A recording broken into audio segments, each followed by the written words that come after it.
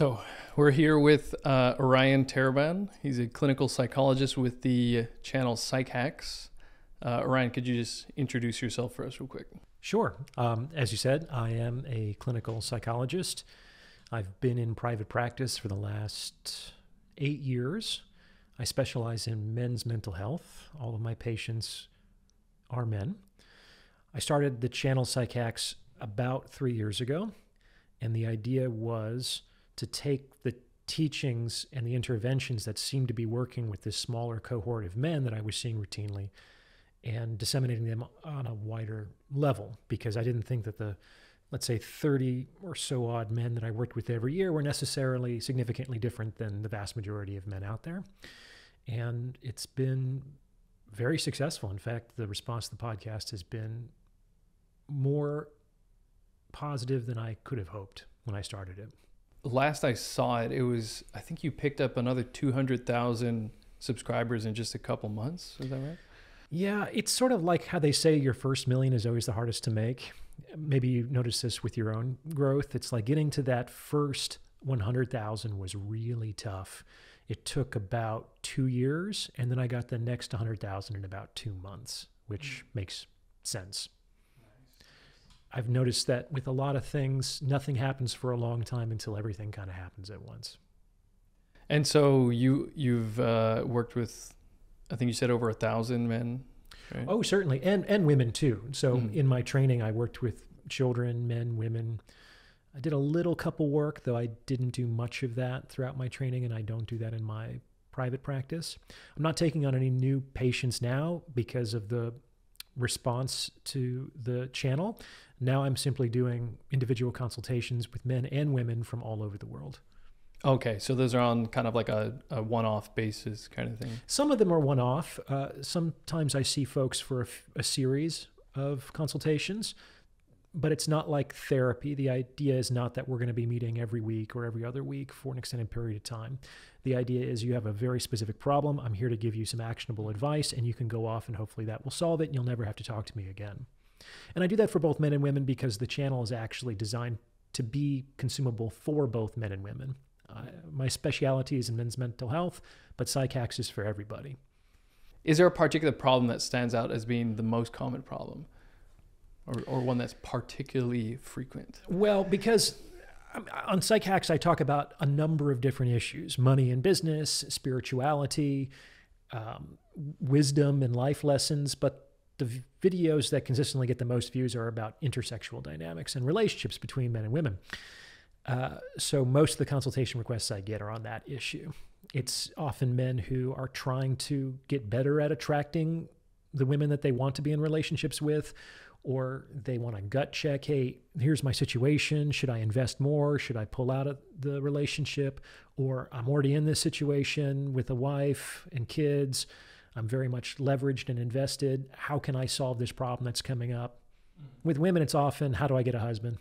I think it's safe to say that you bring a lot of hard truths to men, a lot of things about female psychology that they don't realize and maybe they should have realized a long time ago and it would have been a lot more helpful if they did realize so what, what i'm angling at is so for example um, when i was in high school i took a lot of my dating advice from hollywood movies sure me too so I thought, oh, I should be, you know, kind of like pathetic but romantic and just, oh, you know, I don't really have a spine, but I just love you so much and and you'll love me too now that I love you.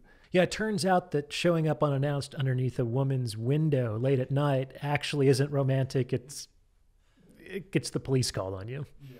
Mm. So what what would you say that women are attracted to, or what kind of man are women attracted to? Ooh, wow. So we know that attraction is both a very personal decision based on your experiences and your goals, but it's also informed by, let's say, certain biological realities. So, attraction is a mix of things that are culturally influenced and biologically determined, mediated by personal experience and preference.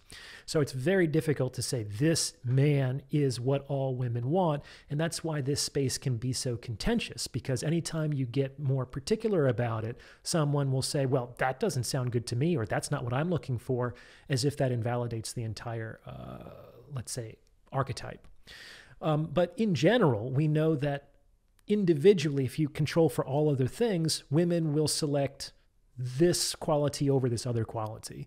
Like in general, if all of the things are being equal, every other part of a man's personality, lifestyle, and presentation are exactly the same, and one guy's significantly wealthier than the other, they're going to choose the wealthier guy because why not choose the wealthier guy? If two guys are completely identical in all other respects, but one guy is 6'2 and the other guy is 5'4, why not choose the 6'2 guy? So we do know that by examining things in that piecemeal way that women typically want men who are a little bit older, who are stronger, who are taller, who make more money, who are a higher status, who are more successful, and are capable of inviting them into an emotionally compelling lifestyle. That's part of what women are attracted to. What they want also depends on their goals. Contrary to popular belief, some women just want to fuck. Some women just want to have sex. Um, and when they're looking for that, they prioritize a different subset of qualities than when they're looking to, say, get married and settle down. So, what a woman is looking for depends on what she wants.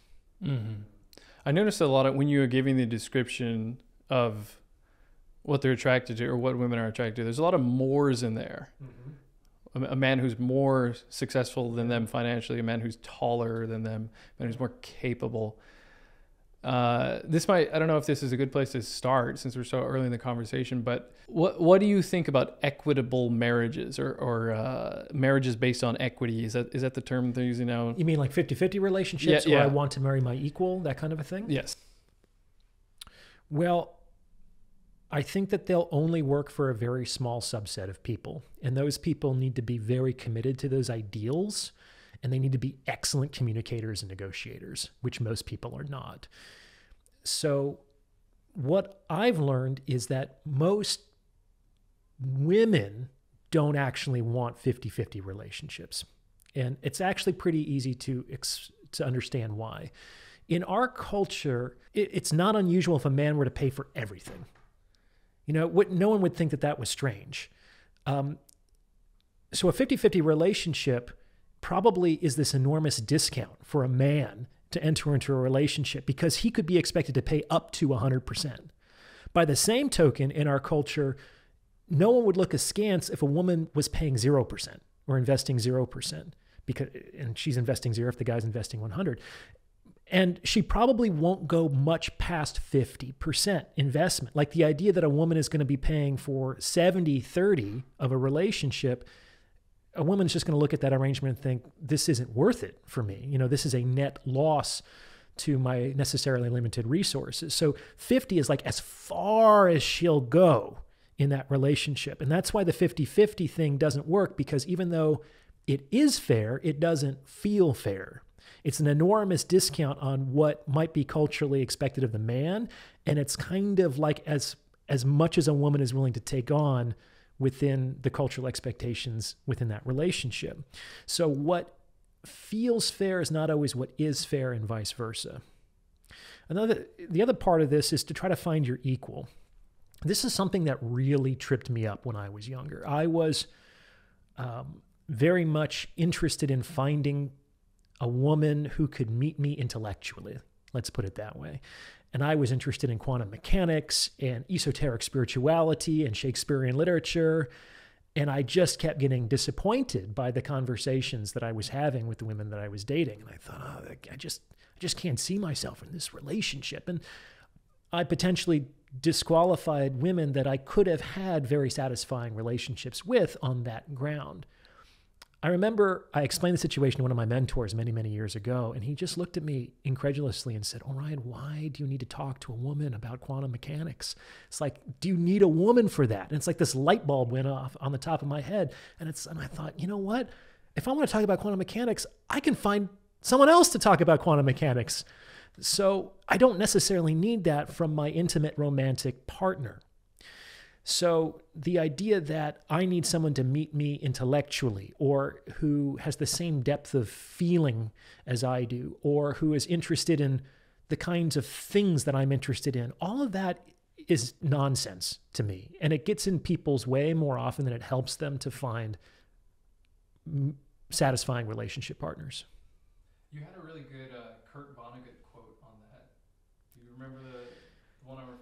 I think so because I've only, I love Kurt Vonnegut. Kurt, little side note: Kurt Vonnegut got me through one of my heartbreaks when I was in my 20s. One of the things that I've done in heartbreak moments is I'll pick an author that I like that seems to resonate with how I'm feeling in that moment, and I'll just read his entire work. So I've done that for a few different authors in my life, and Kurt Vonnegut is one of them. I love his like blend of cynicism and worldliness with his sincerity and idealism. He's a fascinating author. I wish I could have met him. he's great. And so I think I only quote Vonnegut in one of my episodes, and it's from one of his lesser known collection of essays. I think it's called God Bless You, Dr. Kevorkian. And he talks about how the reason that marriage fails is functionally that you are not enough people. That back in the day, people lived in tribes and they married into extended kin networks. And so when a man married a woman, he didn't just get a woman, he got all of these male relatives that he could do things with. And when a woman married a man, she didn't just get a man, she got all these female relatives that she could talk to. Because that's really what men want. They want other they want people to do things with, and women want people to talk to. And nowadays, we don't have that extended tribal system or that kinship network. And so you just get one other person. A man gets one other person to do something with, but it's a woman. And a woman gets one other person to talk to, but it's a man. And so there's this kind of fundamental mismatch where we kind of expect the men sometimes expect the woman to be like their buddy. And women sometimes expect their husband or their boyfriend to be their girlfriend. And that's not what we're here to do. And in point of fact, throughout most of human history, men and women have not really spent a lot of time together. Men during the day were often with other men. Maybe they were off hunting, sometimes for days or weeks at a time. And women were generally with other women and the children, tending to the home front, cooking, doing handicrafts, and, and just socializing, basically. And that's changed significantly with the collapse down into the nuclear family. And not only are you my partner's supposed to be an entire village, you're supposed to fulfill every role of that village. You're supposed to be my my therapist and my teacher and my cheerleader and my sexy mistress playmate and my drinking buddy and my golf partner and my business my co-business owner. And it's like that's too many things. And when people i made a video about this a long time ago. Every time you say the word and the likelihood that you get what you want decreases significantly. So, and is expensive.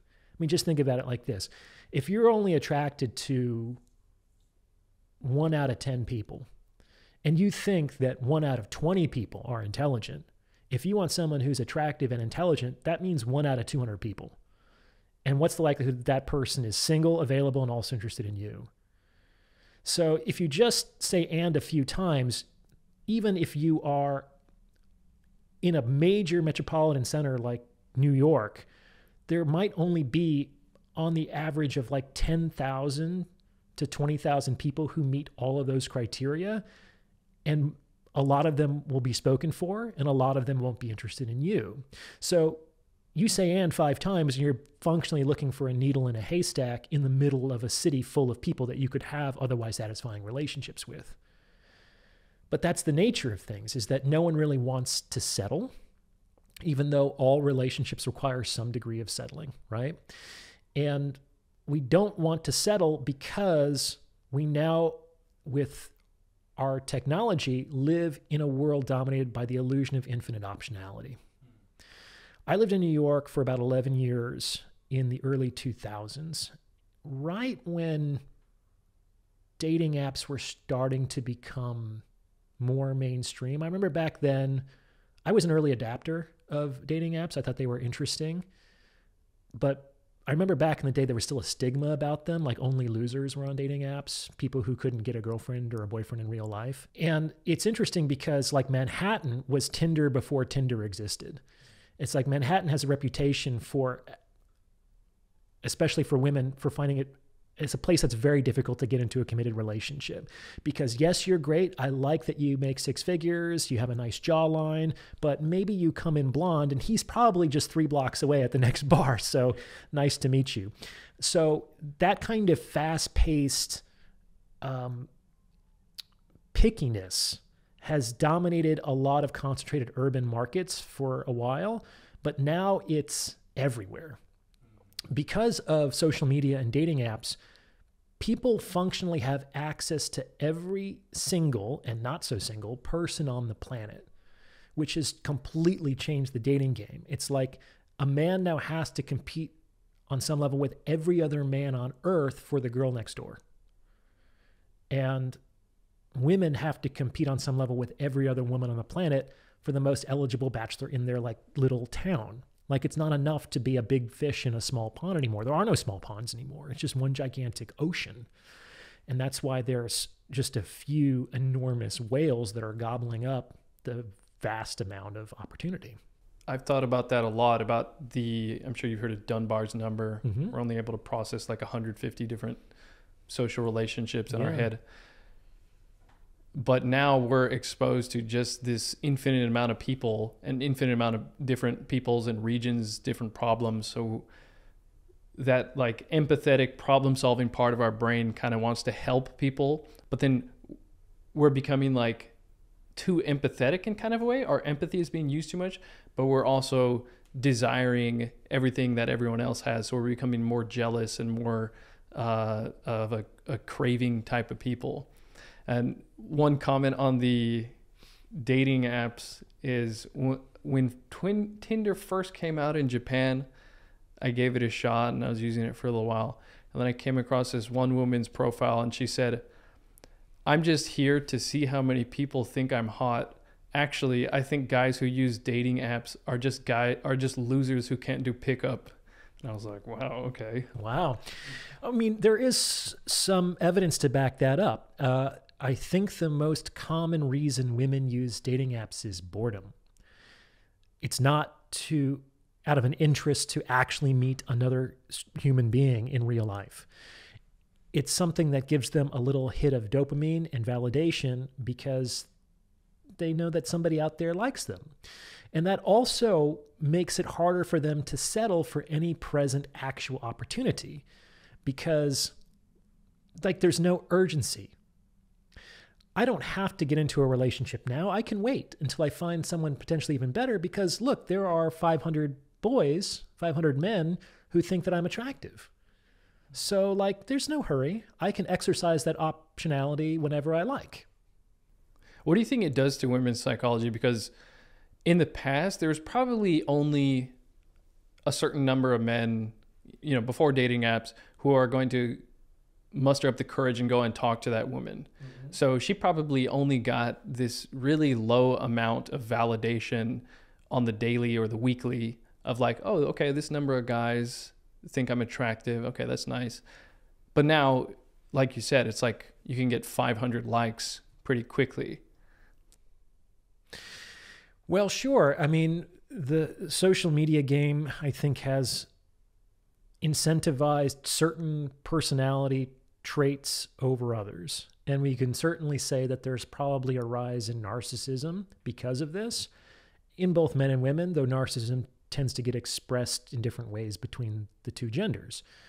Um, women tend to be, we can say, somatic narcissists, and they get their validation in feeling desired for their body and being an attractive sexual option, which is no small thing.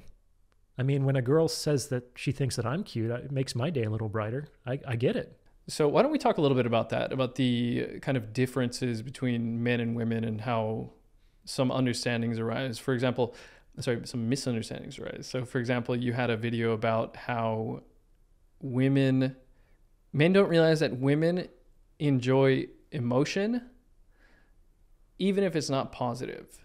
Like there Mm. can, like it. Uh, I think you said negative, even negative emotion can be reassuring or reinforcing. Mhm. I think was the word you used. Yeah, I think I s- talked about that in one of my episodes about why women pick fights, I think is the name of the episode. And often women will pick fights and be intentionally provocative because getting angry is a sign that you still care. If if you are completely uninvested in a relationship, you're just going to express indifference to something that is annoying or inconvenient and you'll withdraw even further. Sometimes provoking a fight is actually a last ditch attempt, but often a counterproductive one to reunite the dyad in question. Uh, it just, it, I think it, it generally can do that, but not indefinitely. And especially if the only way a woman can feel like she has sufficient validation of the emotional investment of the man in question is by picking a fight, that relationship is going to go down south very quickly because that man will be unintentionally reinforcing that woman's provocation because he's basically rewarding her provocation with renewed emotional engagement. Does that make sense? Yeah. And that's I mean that's not that's going to get worse way before it gets better. And one of the things that we learned from John Gottman's lab when he was studying, let's say, micro emotions, so these small transacted emotions that are communicated between men and women in relationships, is that to stay together, there needs to be at least at least five positive emotional interactions for every one negative one. Like that's the minimum ratio. So if it's just like as bad as it is good, that's not worth it. That's a one to one ratio. And I think, yeah. And I think that's because pain is more painful than pleasure is pleasurable. So, like one unit of pain, according to this ratio, might be five times more intense than one unit of pleasure, one unit of positive interaction. They also found, however, that there's a cap to that. Like if there's more than I think 12 or 13 positive interactions for every one negative interaction, like if the relationship is too positive and there's no negativity, people get bored and people get disinterested. So you, the sweet spot, according to Gottman, is definitely erring on the side of positive emotionality, but to not completely eliminate the negative dimension entirely. So one thing that I thought of when you mentioned that negative emotion can be reinforcing for women, mm-hmm. could that generate a situation where, say, a man being too willing to like fight about something? I've I've I've seen this with myself several years ago with ex-girlfriends. There might be a fight, and I think the fight's over, but then she still wants to discuss more and more and more.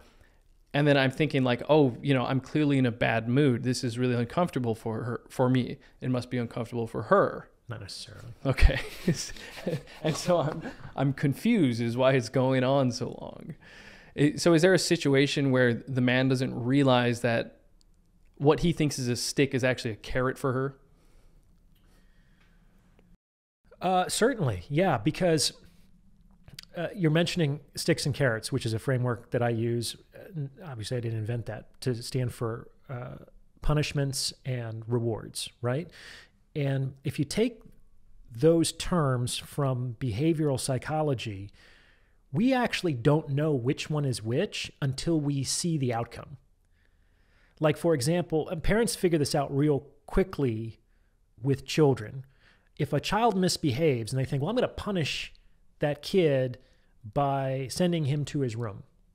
But then when he gets into his room, he knocks everything off the shelves, kicks the wall, and starts making an even bigger ruckus than before. That wasn't punishing. That actually made the situation worse. So, what we think is a punishment might actually be a reinforcer, and vice versa. A punishment is only something that decreases the frequency of a target behavior.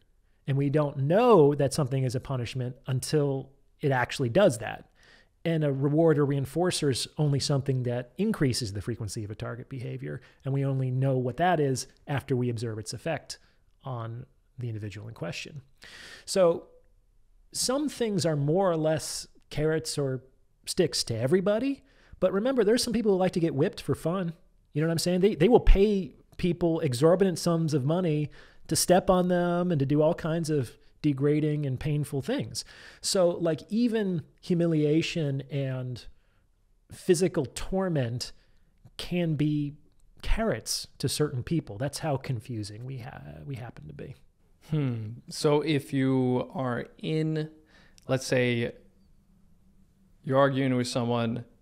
Well, you should never really argue with somebody, dude. There's really no point. Yeah, I, I'm kind of referring to myself of about like eight years ago. My ex girlfriend would be getting mad, so I would kind of match the anger. Yeah, it's easy. Right. It's easy to get sucked into that emotional frame. Yeah. It's like this. It, you're in a. It's the atmosphere in the room. Emotion is in some way contagious, and it takes a great deal of. You know, you have to be very centered. You have to be very mindful and self-possessed to resist the pull to enter into, let's say, an emotional narrative that's being offered to you in a personally relevant relationship. It's easy to do it if you don't have a relationship where you don't care about the person, but it happens unconsciously. The more mindful and self possessed that you are, the less likely you're going to be sucked into that. But every, myself included, I've made that mistake a Mhm, bunch of mhm. times. And do you think that is uh, could that stem from like a, a willing not enough willingness to assert boundaries? Because at some point you just got to say, okay, here's a situation.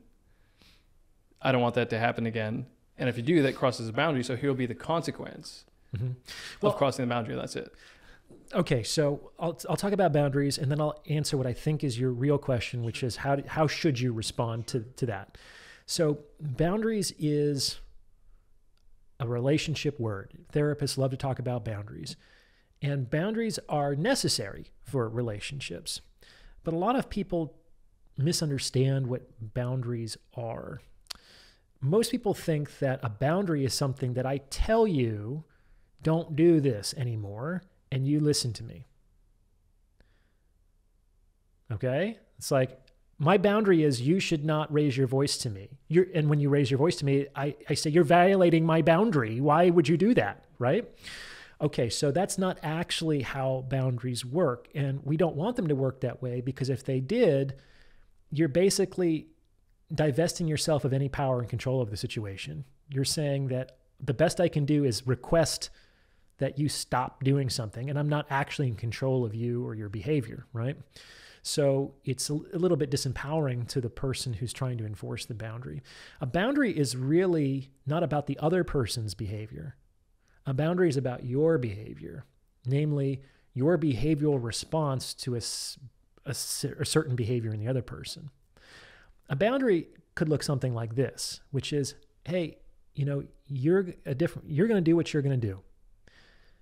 However, if you choose to raise your voice at me again, I will choose to leave this relationship. That's it. Now, to the ex- to the extent this works, to the extent that it's not so much that you have to that I have to trust that you're never going to yell at me. You just have to trust that I'm going to leave you if you do. That's the deterrence that keeps boundaries like borders between countries clean. You step over this line, there will be consequences. And you just have to believe that I'm not bluffing and you'll stay on your side of the fence. And this doesn't have to be a long drawn out conversation. This could be a 30 second conversation. I, I, I, teach men to have 30 second conversations with their girlfriends and wives, oftentimes around like infidelity. A lot of men are concerned about cheating and infidelity, women too. And a 30 second conversation goes something like this Hey, sweetheart, I just want you to know that if you ever cheat on me, I will eventually find out. And when I do, it will immediately end our relationship. No questions asked. Do you understand? Yes? Great. I hope we never have to talk about this again.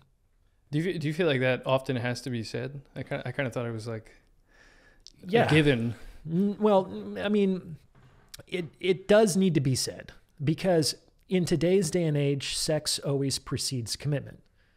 you're kind of in a situationship until you decide to consciously define the relationship.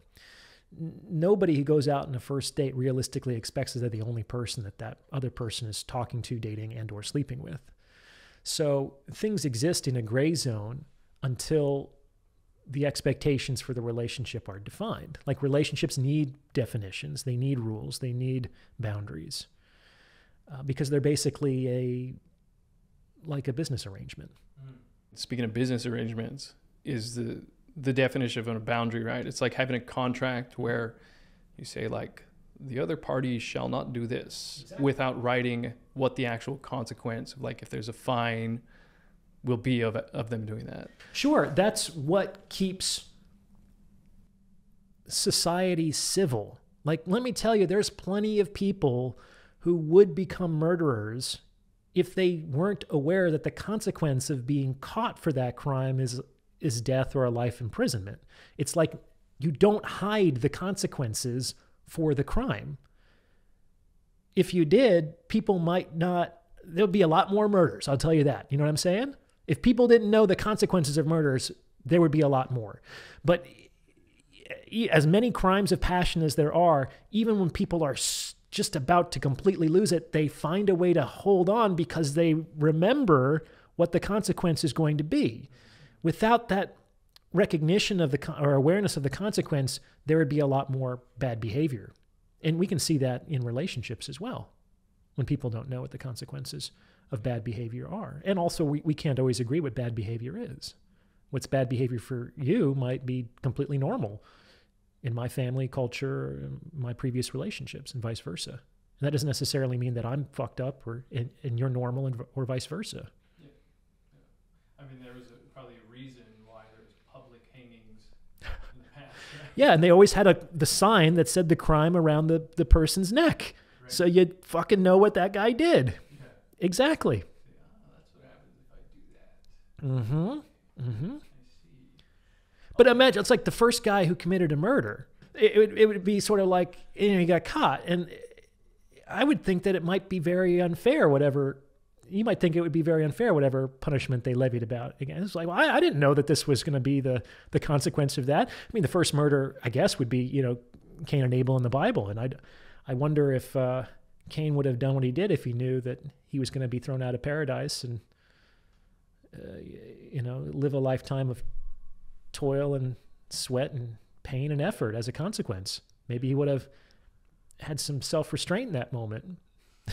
Who knows? That's a good point. so do you let me see. I'm I'm trying to circle back to that question I asked about like what do you see as the most common problem uh, that you're finding popping up? Like is there a kind of common thread that is intersecting the relationship problems you're seeing with your male clients? Kind of like a, a lack of this trait or a lack of that trait or too much of this trait or maybe misled by this well, I do talk. I, I made a couple episodes recently about men and women's biggest enemies. Mm-hmm. And the way I see it in today's sexual marketplace, women's greatest enemy is their pride, and men's greatest enemy is their cowardice. And that cowardice, because you asked about men, is expressed in a number of different ways from just I'm too terrified to approach a woman or to express my sexual attraction to I am too terrified to because of its social implications to take the lead in this relationship and or and or to be the head of the family. That that's uh, potentially oppressive that that is sexist that that is a deviation from the 50-50 relationship of the way that things should look in an equitable partnership. I mean a partnership is already kind of a it's a word that carries a lot of difficult connotations because it does suggest that kind of like 50-50 thing. Mm. And most women don't want a 50-50 thing. Most women want a relationship that significantly improves their lives because they can get that.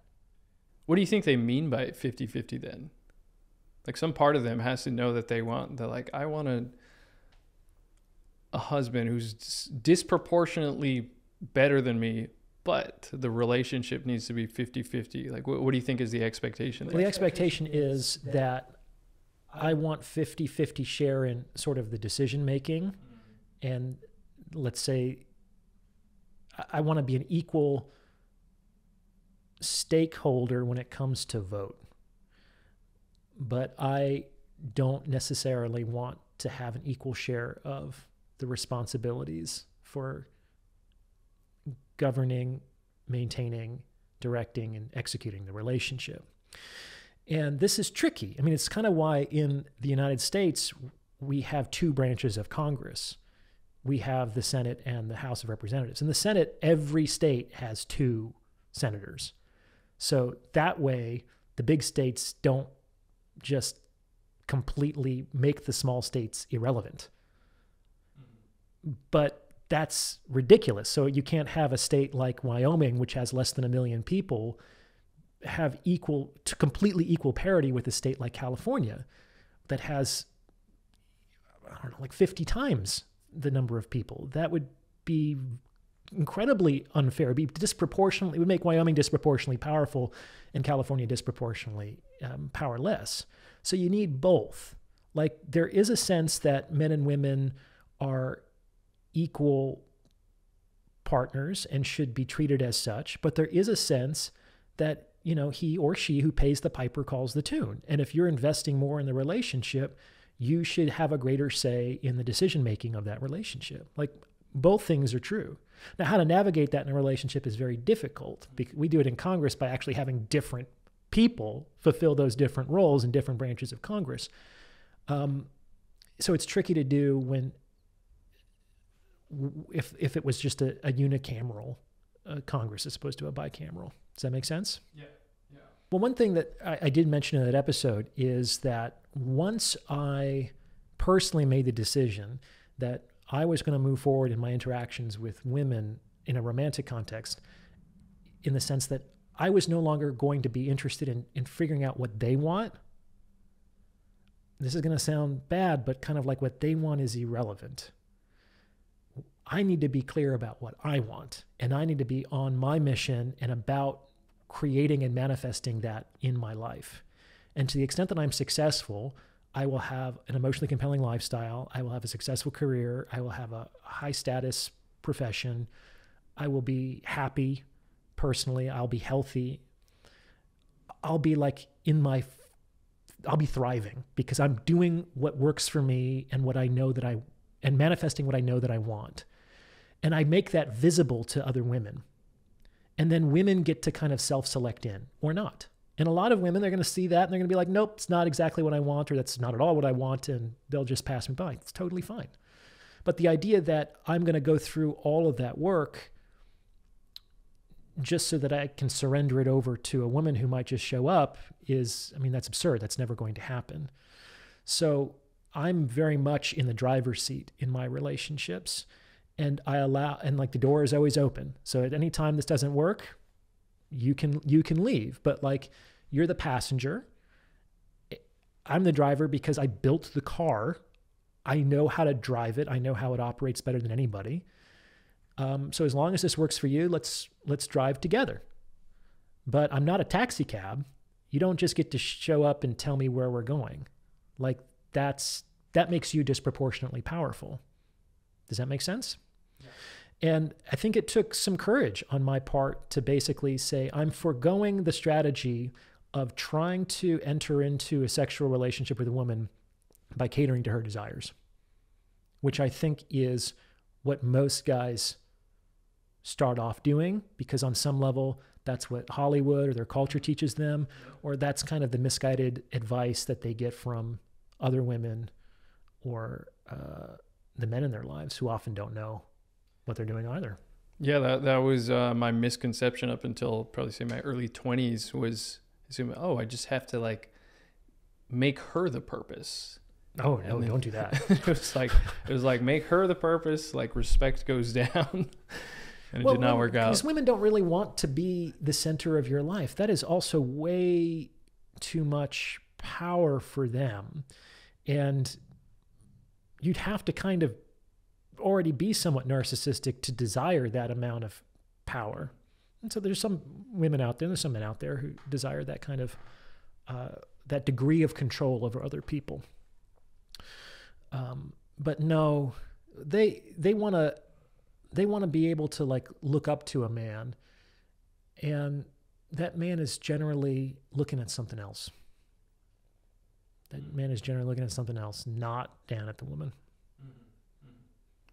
Yeah, I hear that's supposed to be one of the one of the effective dating profile pictures is basically you have a guy looking at the camera and then you have an adoring woman looking up at him and that's supposed to be really effective. Oh man, it's like Profile all picture. the old Hollywood posters used to do this before we got um, infected with wokeism. Like, look at the old Star Wars poster. Do you remember that one? Can you Wasn't picture she in your mind? between his legs Ye- on the floor? Yep, and that's his sister, you know. And so Leia's like curled around one of Luke's legs, looking up at him, and Luke has the phallic lightsaber, and he's looking up at the stars, and it's like th- that's a posture that existed in almost every action adventure movie from that era. Yeah. yeah. So there's been kind of like a, a, a gradient ramping us up to the current wokeness. Hmm. And I think along the way was a lot of this kind of like, oh, men, you should, you're not supposed to be stronger, better, uh, more competent, whatever, than a woman. You're supposed to be equal. And so do you think that has something to do with men's lack of courage? Like, like they were talked out of being cour- Oh, yeah. courageous? Surely, surely there's all these other peripheral factors. Like if you're watching porn all the time, you never have to muster up the courage to actually talk to a woman. Or if you have a dating app, you know, you can, you're just like there and, and you can, which is fine. You, which is you kind of have to do it nowadays. But Well, like, I mean, yeah, from a very young age, I was taught men and women are equal. Men and women are equal. Men and women are equal, and that can be interpreted as in many, many different ways. the The correct interpretation, in my opinion, is to understand, like the way that we use that language in, say, the Declaration of Independence, which is that all man, all men, like the human race, men and women, all men are created equal. Like we're all equal before some sort of higher authority. That from a spiritual level, no one person's life has more value or dignity than any other person's life. But when we get down to, to this earthly realm where people have to make decisions using limited resources, some people are absolutely more valuable than others. And that depends on your goals. It's like if your toilet is clogged, a plumber is much more valuable than a cardiologist in that moment. Do you understand? And even among all plumbers, some are going to be more valuable than others to you. Someone's going to have, you know, this one has 85 star reviews, this one has two. This one is three times more expensive, this one is more affordable. So it's like there's going to be better options for you given your resources and your goals at the present moment. Okay? So I think when you teach kids that men and women are equal, what they often hear is that men and women are the same because that's another interpretation of equality. Like when we say one plus two equals three, we're basically saying that those two mathematical propositions are interchangeable, that we can we can commute them around and we don't lose any truth. That statement is the same backwards and forwards. That's what equality is from a logical perspective, right? And so I think what that has potentially done culturally is kind of made men more feminine and women more masculine. And I believe that that has made that has created some opportunities for the sexual marketplace, but it's mostly created confusion and liabilities. And do you think that makes us kind of like less attracted to each other? Because me personally, I don't want a more masculine woman. Yeah. So sometimes there's this failure of intersex understanding. So, for example, like we were talking about earlier, to the extent that it's true that women find men who are wealthy and professionally successful attractive or more attractive than men who are less wealthy and less successful, all other things being equal, then they might think, oh, well, if I find that attractive in a man, then perhaps a man will find that attractive in me. So I'm going to prioritize becoming high powered and high earning and high status. And combine that with the idea that I'm looking for my equal, um, these women who pursue that path are often not very successful in the sexual marketplace because generally by the time they're able to get access to those equally powerful high status men they're much older. And those powerful high status men don't want to wife up women in their late 30s or early 40s especially if they can get someone much younger who is a more attractive reproductive option Right. Do you think that, the corollary of that is men saying, I'm sure there's a lot of corollaries, but is men saying, oh, if I'm more expressive with my emotions and I reveal my emotions more, she's going to like that because that's what women like. Exactly. Yep. hmm And men are told to to be more vulnerable, to be more emotional express, emotionally expressive, uh, to be more caring. Um, and you know, on taking that to extreme, they often there's a subgroup of you know the current discourse that also calls traditional male qualities of like stoicism uh, and res, you know that kind of emotional resilience to be toxic uh, that it's bad for men. And I, I could and and there there might be some degree of truth to it. It's like i know men who are so removed from their own emotions that they wouldn't know if they were feeling anything if it came up and slapped them in the face mm-hmm. you know? Mm-hmm.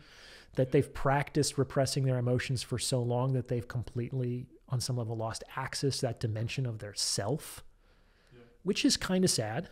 I can see that.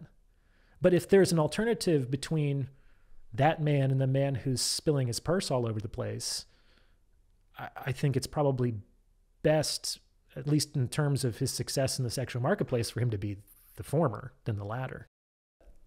Yeah, we, we were talking about this off camera, and I was mentioning how after a couple of meditation retreats, it was like, um, you know, I, I don't think I would really say that I was a person who couldn't read their own emotions, but after the meditation retreats, it's like they came out in high def, and it wasn't like that made me more emotional per se, but it was just I could I could see them a lot clearer, more clearly, and so that I want to say that led to better decisions.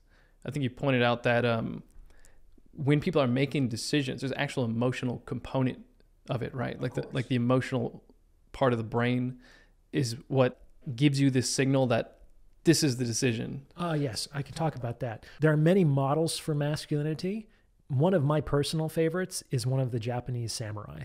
I love the I- archetype of the Japanese samurai because not only is he strong and selfless and stoic and long suffering and resilient, he also has enough sensitivity to be able to write a haiku about the cherry blossoms and to be moved by the beauty of the transient season seasons. And on some level it's like yeah that's that's correct. It's like why be so strong and tough if it means destroying the thing inside of you that that strength and toughness was designed to protect which unfortunately is the like the victim in so many men's lives is they they choke off or or completely repress that sensitivity that should be defended and protected as much as like women and children on some level in traditional masculinity and by cutting that off you you cut off a, a great deal of the richness and, and joy in life and experience so i think i think that's a really good model and no one would think that a, a samurai is soft you know what i'm saying for being into poetry and flowers I mean, you've got guys who are like, okay, it's my time to die, so I'm gonna disembowel myself. holy shit you just have like the epitome of balls of steel. Yeah. The fact that people could do that is it's it de- almost defies belief. Like the the amount of strength and concentration and commitment to honor y- you know because i think that if if they didn't go through it they would just be dishonorably slaughtered. You know what i'm saying? Like i don't know how many people on death row would would necessarily kill themselves even if given any option. It's like it's still even if you have one day left, if you have one minute left, it would be hard, I think, for a lot of people to hasten the process if you're still healthy, right. if you're still intact. Yeah, yeah. Anyway, a little morbid, but um, to so your question is about um, how emotions facilitate decisions. Okay, yeah, this is real interesting. So one of the primary functions of emotions is to serve as a decision making heuristic.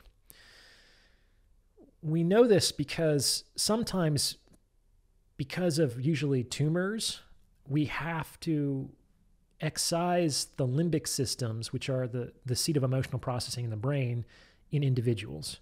You can live without the limbic system. Like it's not essential to human functioning.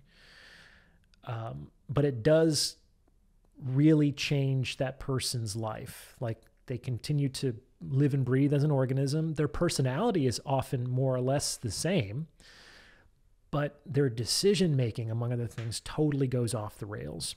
So you put one of these people in like the cereal aisle of a supermarket, and they will spend hours without making a decision because they will be comparing how this box of cereal is two cents cheaper per gram than this one, but this one actually has three grams more niacin than this one. So maybe the cost per gram is offset by the increase in niacin, but this one over here has a flavor ratio that on this is better than this. It's like they they just they just are overwhelmed with information. And the fact of the matter is that the mind cannot decide.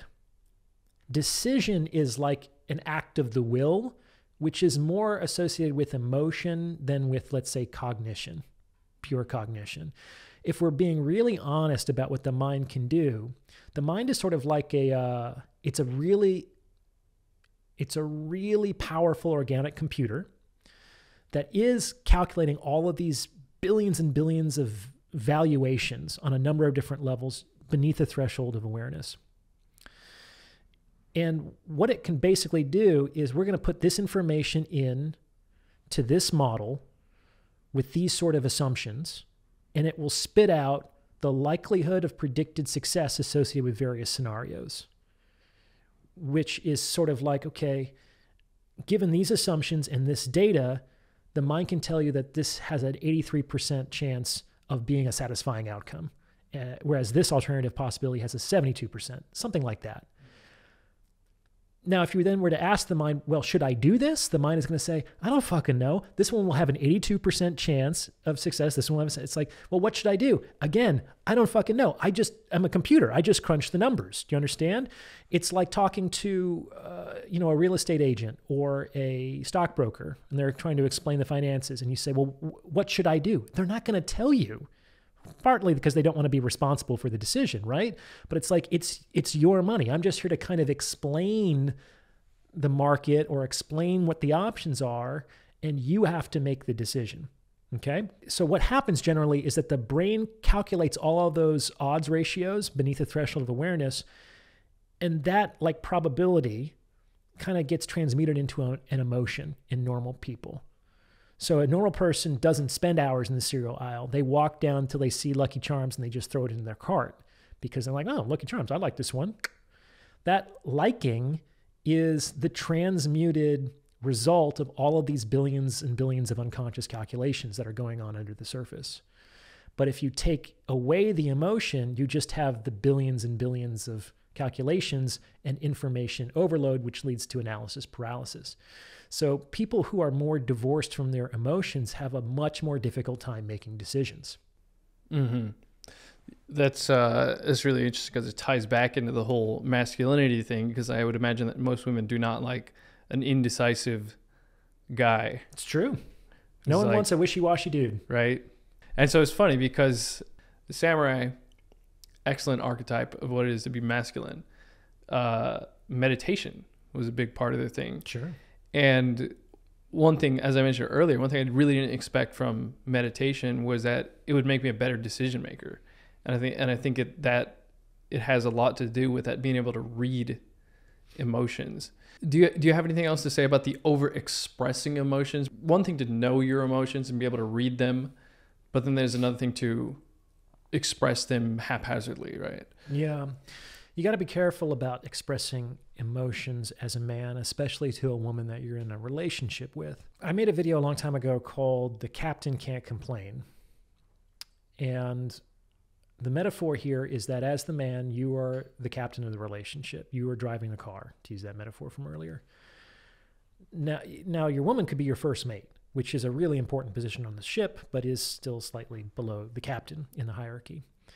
If one day the first mate were to come into the captain's quarters and say, Hey, Cap, how's everything? And the captain turns around and says, Oh man, I don't know if we're going to make it. You know, I'm really concerned. I think that there are some pirates on our tail and they're catching up to us and we're heading right into a shoal and I don't have a fucking map. I mean, we're running low on supplies. I, I, I just am so overwhelmed and stressed out. I don't even know what to do. I mean, that first mate is going to like, okay, um, get it together. And if it's so bad, she might be looking for the first chance to get off that boat. You know what I'm saying? So, captains need to be very careful about communicating certain emotions to their first mate or their crew because they're not at the same level. And we don't, we expect different responsibilities at different levels because the different levels also come with different privileges. There's privileges associated with being a captain, but one of the responsibilities is you have to keep your shit together. Otherwise, we we can't have you in that position of leadership and power, and because that's going to destabilize this entire enterprise, right? So, that said, the, if the first mate were to come in under those circumstances and say, "Hey, Cap, how's it going?" and the captain turned around and said, "Everything's fine," just fine, like that's bullshit. And when the pirates catch up or they run ashore, the first mate's gonna be like, "What? I thought everything was fine. What's going on? Now we're in deep shit."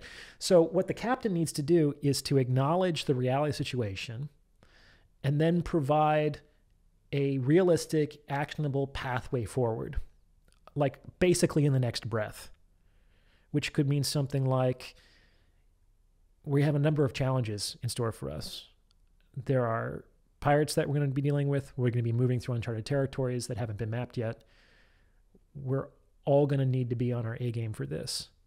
But if you are at the helm with the light and doing this, and other people are stationed at the back, ready to defend us, like we might be able to get through this alive. Are you with me? And they'll be like, yeah, because that's probably their best possible chance of surviving that situation. So, the captain in that case was able to admit the reality of certain circumstances without like falling prey to the fear that those circumstances may have provoked in someone with less self-possession. Hmm. And to respond to them in a reality-based and hopefully effective way. Like that's how you navigate challenges as a leader. I, I don't want to misremember or misquote her TED talk. I think Brene Brown wrote this talk about the importance of vulnerability. And I feel like that was right around the time when this idea of emotional vulnerability is going to heal us all. And we need to be emotionally vulnerable to process um, our negative emotions or something like that. What do you think about this idea uh, of emotional vulnerability as a means to become a better person? Yeah, vulnerability is a tough word. I, I really dislike the word because etymologically, it comes from the same root as wound. Yeah, oh, Like uh, weakness, right? y- y- it's where I c- it's where I've been wounded. That's my vulnerability, or I guess it's where I could be wounded, right? Um, and so, why would you go around advertising that information? Because not everybody is trustworthy and not everybody is on your side. That would be like Achilles on a first date thinking that he's trying to be vulnerable, saying, Hey, you know, I kind of hate to admit it, but I'm a little soft around the ankles. You know, it's like, why would he do that? um, so, vulnerability is tricky. She's not necessarily wrong in my understanding, but here's the issue it's like, because of some of the experiences I had when I was younger, and also because of all of the work that I've done to accept, process, and heal, I can talk about some of the really painful and challenging parts of my life in a frank and non defensive and open way.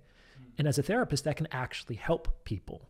Like, for example, if you were an alcoholic, you would kind of want your sponsor to be a recovered alcoholic as opposed to somebody who's like never had a drink, might be moralistic or judgmental and has read, you know, these are effective interventions from a book.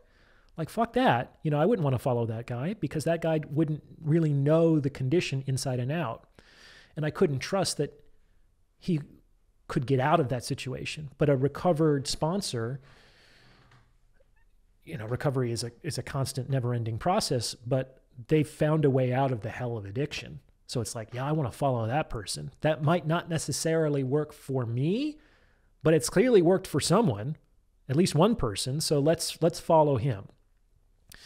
The issue is that that sponsor's alcoholism is only useful to the extent that he's gone through the process of healing and recovering from it. Now, when a lot of people make emotional disclosures under the auspices of being vulnerable, they haven't actually really processed, healed, or accepted that part of themselves. It's still like an open wound. And so, like, if I were to share some things from my past and somebody mocked me, which sometimes happens. It's like sometimes I talk about relationships on the, on the channel, and I talk about how I've had many different kinds of relationships with many different kinds of women, and some people will will use that information to to attack me. It's like, well, if this guy knew what he was doing, why would he have so many relationships? Okay, um,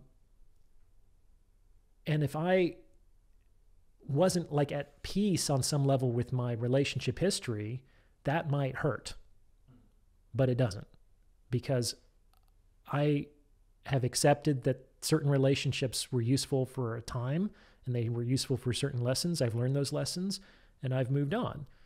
Does that make sense? Yeah.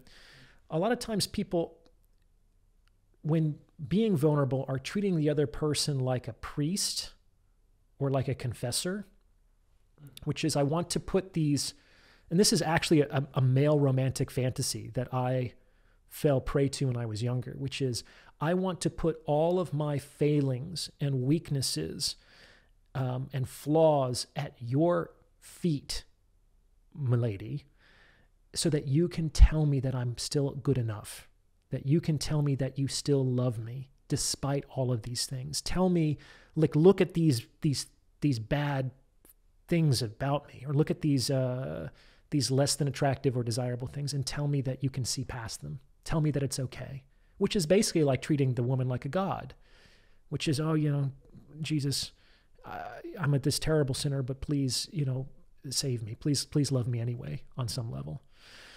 Um, and women don't operate that way. They're not divine. A lot of them um, are still healing themselves.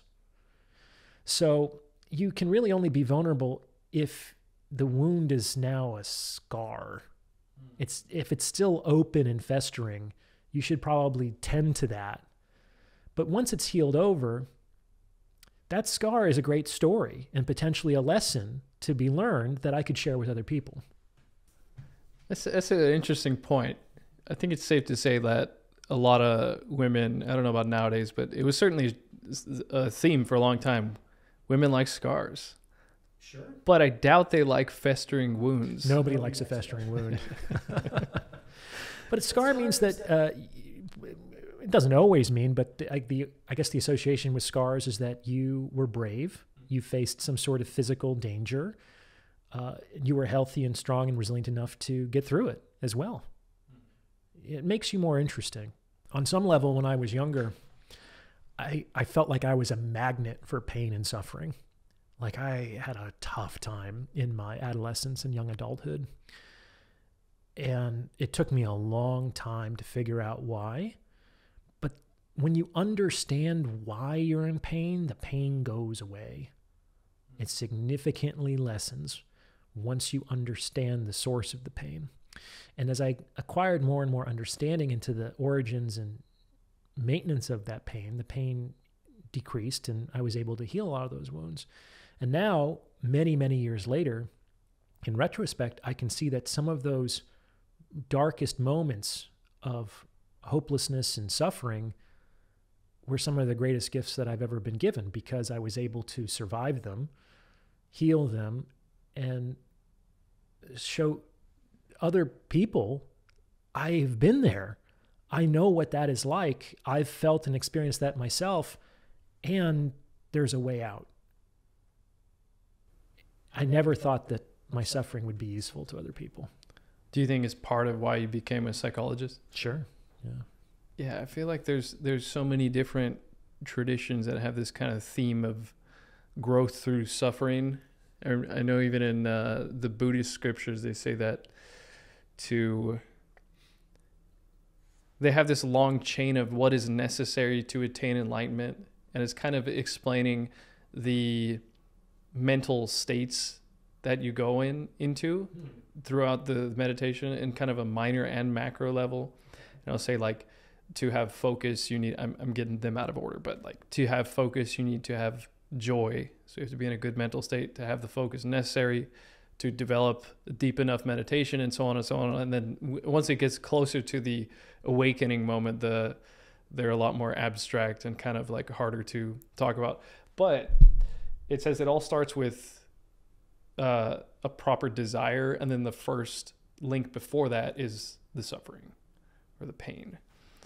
But it's it's a could be also interpreted as dissatisfaction. It's this. I like pain better, but you know maybe they mean dissatisfaction. But pain is just more real and honest to me than dissatisfaction. Pain is real and immediate, and I was in pain. And there's a lot of people who are in urgent, immediate pain that are looking for some kind of any kind of relief, which is a big part of why we have such a big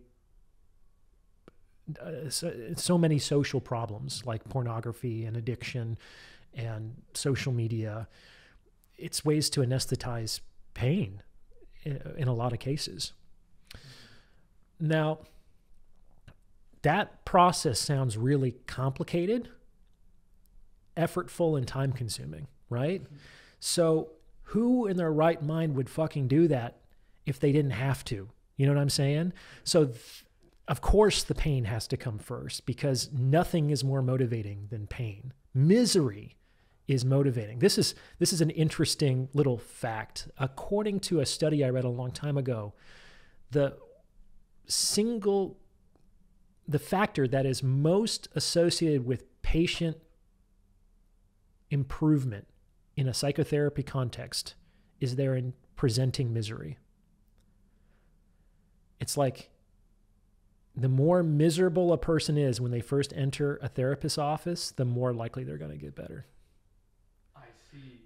And we can understand that from a number of different perspectives. It could be just regression towards the mean. They come in at a really, really low point. It's probably more likely they're going to get better than get even worse. But hell is bottomless, as Jordan Peterson talks about. So you can always get worse, unfortunately. Um, but it could also mean that they're finally motivated enough to fucking take action and and change their own behavior and change the way they're living and make different choices. It's like a miserable situation is kind of unsustainable. You'll either die or you'll grow. That's why one of the most dangerous things for people is like a good enough situation. Like a B life, a B minus life is probably on the long run worse for people than a D plus life because no one's going to stay in a D plus life for very long if they can do anything about it. Mm-hmm. They will do something necessary to get out because they are in acute, urgent, intense pain. Whereas the B minus person is not. And a B minus is higher than a C. So like the regression towards the mean works against them. Like all things being equal, there it could get worse than better. There are fewer better outcomes. But a B minus life is like standing on 16 in blackjack. Like, oh, that's uh, hard to, oh, 16 is tough. Does that make sense? Yeah, yeah, of course. And it's kind of scary when you think about how we've gotten more and more pacifying things. So, for example, it's like, oh, everything sucks, but eh, you know, I got Netflix and I can do this. Or I've got Netflix and porn, I guess. well, I was noticing that because we're here in, in Japan, right? And um, I was taking the Tokyo subway just yesterday, and every single person is on their smartphone. Every single person.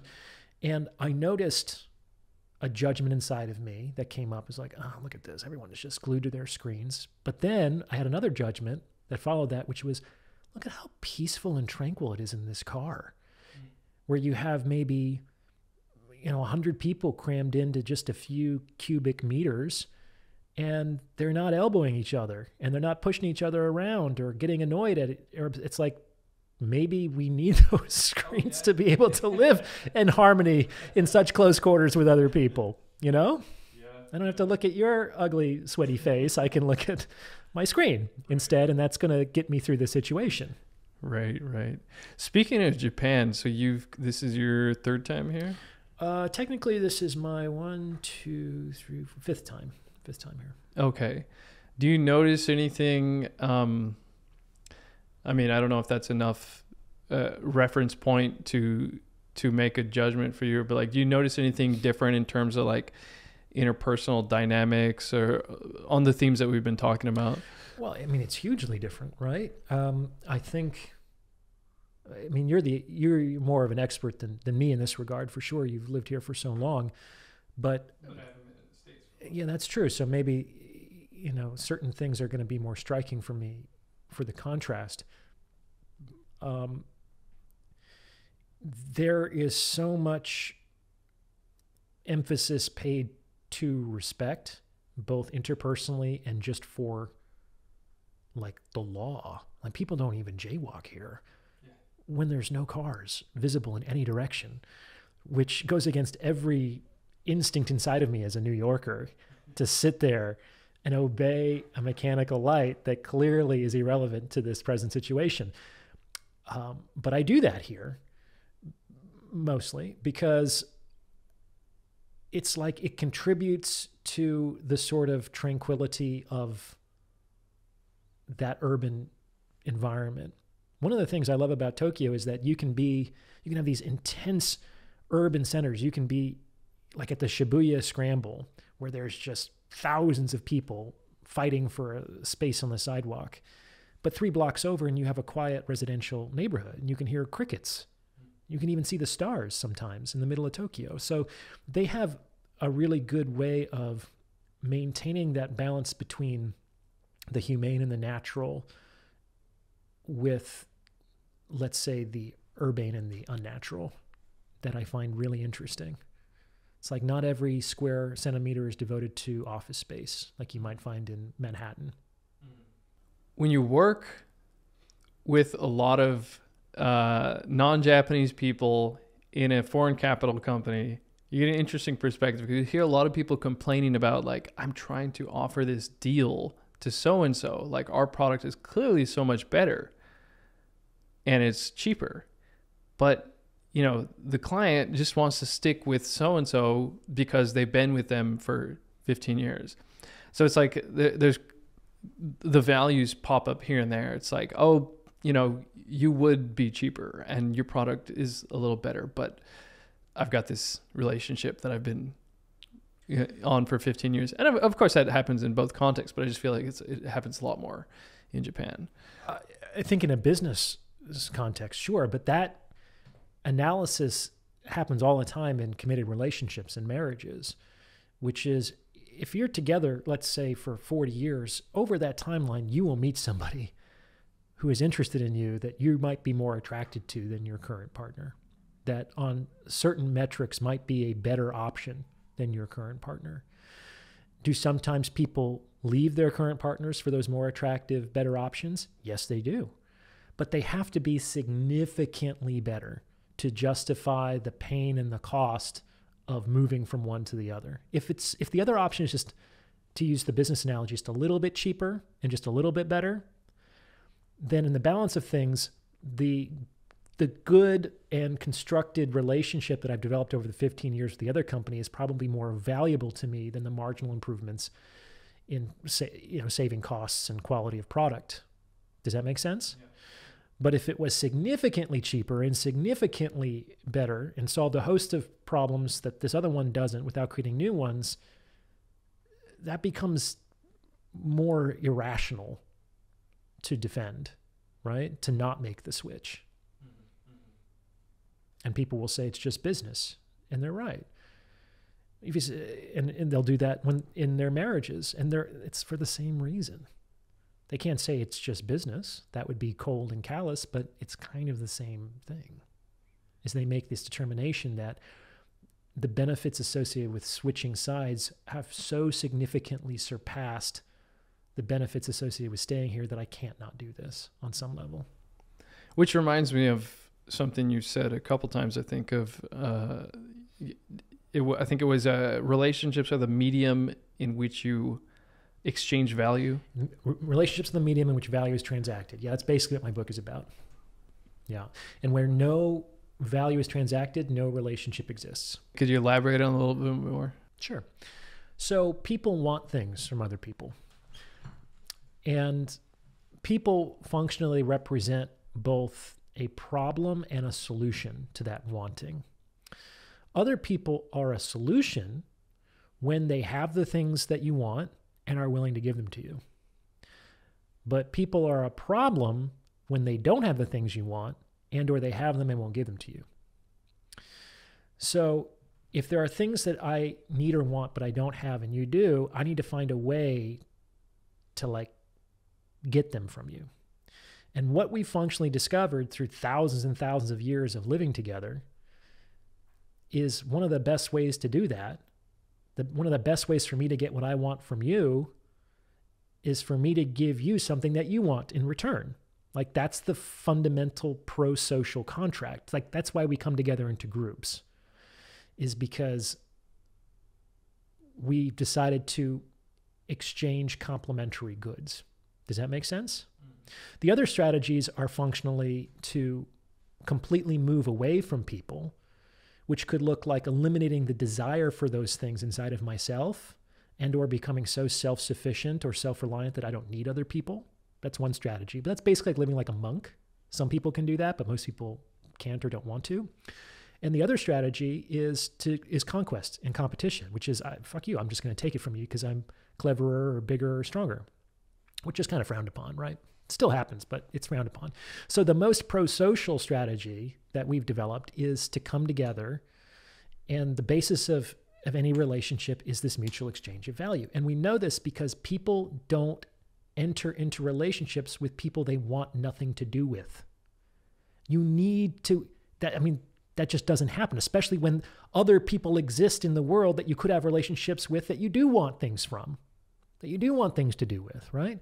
So people don't often like this because it it, they feel often that it um, it makes all relationships inherently transactional. But the point is is that if there wasn't some transacted good that was moving between the two of us, we wouldn't have a basis of a relationship. Now, to be fair, this doesn't mean that everything is transactable. Um, so, for example, in the book, I talk about like the three most important non transactable goods for relationships are friendship, loyalty, and love. These things can't be bought at any price. You can't buy a friend. If you bought a friend, you don't have a friend, you have an entourage. You know what I'm saying? Um, you can't buy loyalty. If you bought loyalty, you don't have a loyal vassal, you have a mercenary. You know what I'm saying? You you can't buy love. If you tr- if you think you've bought love, you just bought prostitution, basically, in so many words. So you can't buy these things at any price. So on some level, they're invaluable, which could mean that like they're beyond value or they have no value because they can't be transacted. All of those things are given as a spontaneous gift at the pleasure of the giver and doesn't respect any kind of reciprocity. Like if you are my friend just because you expect me to be my friend in return, that's a transaction. You're, are you even really my friend? If you love me just until or as long as I love you back, did you really love me? You know what I'm saying? So what we've what we decide is that these these non-transactable goods are very ennobling for the individuals involved. They can represent some of the the highest states that people can aspire to. But relationships aren't necessary for them. Relationships are not necessary because these are these are gifts that I can give you at my own pleasure. You can't buy them or earn them from me, and I don't expect anything in return. So there's actually no exchange in the gift giving. Do you understand? Like, there are people out there who are loyal to celebrities or athletes or political leaders who don't even know that those people exist.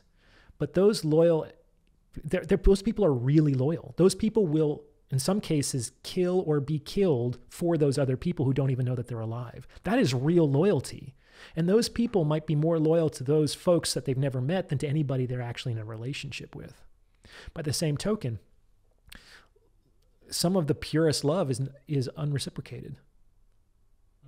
I mean, in the romantic tradition, the the the knight in shining shining armor actually chose a woman who was married to another man as the damsel to whom he would devote all of his chivalric acts.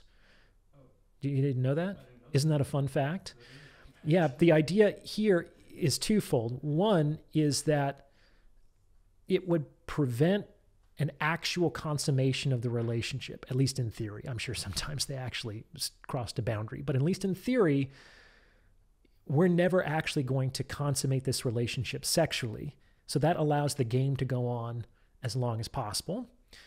And two, because the purity of my love in the romantic tradition would be cheapened by commingling it with base carnality, I am purifying my love because the highest expression of love is non sexual. And the, the term purifying is, is interesting because this, let's say, the cult of romantic love, we might say it even originated in the south of France by the sect of Catholicism called the Cathars, which means like the purifiers. And the Cathars believed in purifying themselves. Um, they didn't believe in marriage. They didn't believe in, um, they were trying to like elevate beyond those those worldly instincts so that they could have a more divine relationship and so they chose a woman that they actually had no fear or hope of consummating as their romantic ideal. Hmm. Isn't that interesting? It's also in- helpful because one of the th- primary drivers of romantic attraction is unobtainability. People want what they can't have. Hmm. And so you're going to be much more attracted to me if i feel like i, I can't get you. Hmm. On that note, uh, what do you think about marriage? What do you mean? Are you interested in marriage? To me, um, the like the con- I don't know what it's like in Japan, but in America, the convention, like the legal reality of marriage, doesn't make sense to me as a man. I, I can just say, and I don't think this should be in any way controversial, that the contract, as I understand it, I don't see is is taking on an, an enormous amount of risk for no compensation in additional privileges. So I, I'm not really sure why I would do that, especially if I don't have to.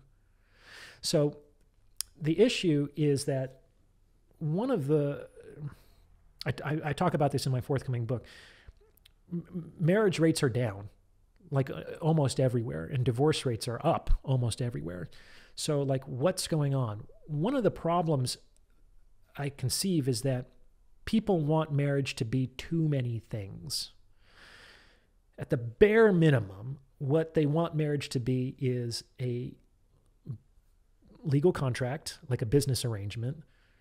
They want it to be a solemn oath before God and to have some sort of religious dimensionality to it.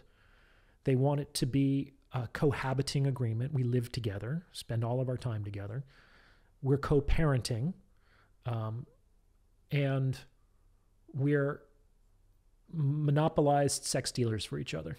So we're, we're in an exclusive sexual relationship. This is the, like the bare minimum. What's more, like we were talking about with the dissolution of the extended kin network, I want you to be all these other roles that were previously performed by my extended family and or the community in which I was embedded. And this is just too much for the institution of marriage to support. And when we don't tease apart these various components, well, just like a chain is only strongest according to how, you know, the weakest link, it's only as strong as its weakest link. If all of these different things are admingled, it's going to fail at its most like vulnerable point. And if we can't like separate these, we're going to just throw the whole thing out rather than just say, oh, well, let's just throw out this part that isn't working and keep the other four or five things. Do you see what I'm saying? And this is tough because people have a lot of romantic ideas about how relationships should look and how marriage should be. And they are very touchy about approaching the possibility of changing the structure of that relationship. It's kind of like a sacred Hindu calf. It's like it clearly is failing, like in the sense that most marriages end in divorce. But no one has really a clear alternative to that. So if the alternative is either I assume this really risky venture where I've conflated all of these different responsibilities and expectations, which on some level I know I can't indefinitely and completely meet, or I have nothing, which is also what's happening is we see in the decline of marriage and the increase in divorce, an increase in just like total sexlessness and a decrease in even casual relationships. Is like men and women aren't even hooking up with each other as much as they were 10 years ago. I mean, maybe you've read that statistic.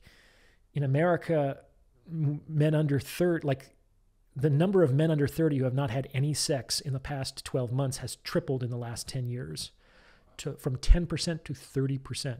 30% of men under 30, which is that decade, the 20s, is so important to long term mating.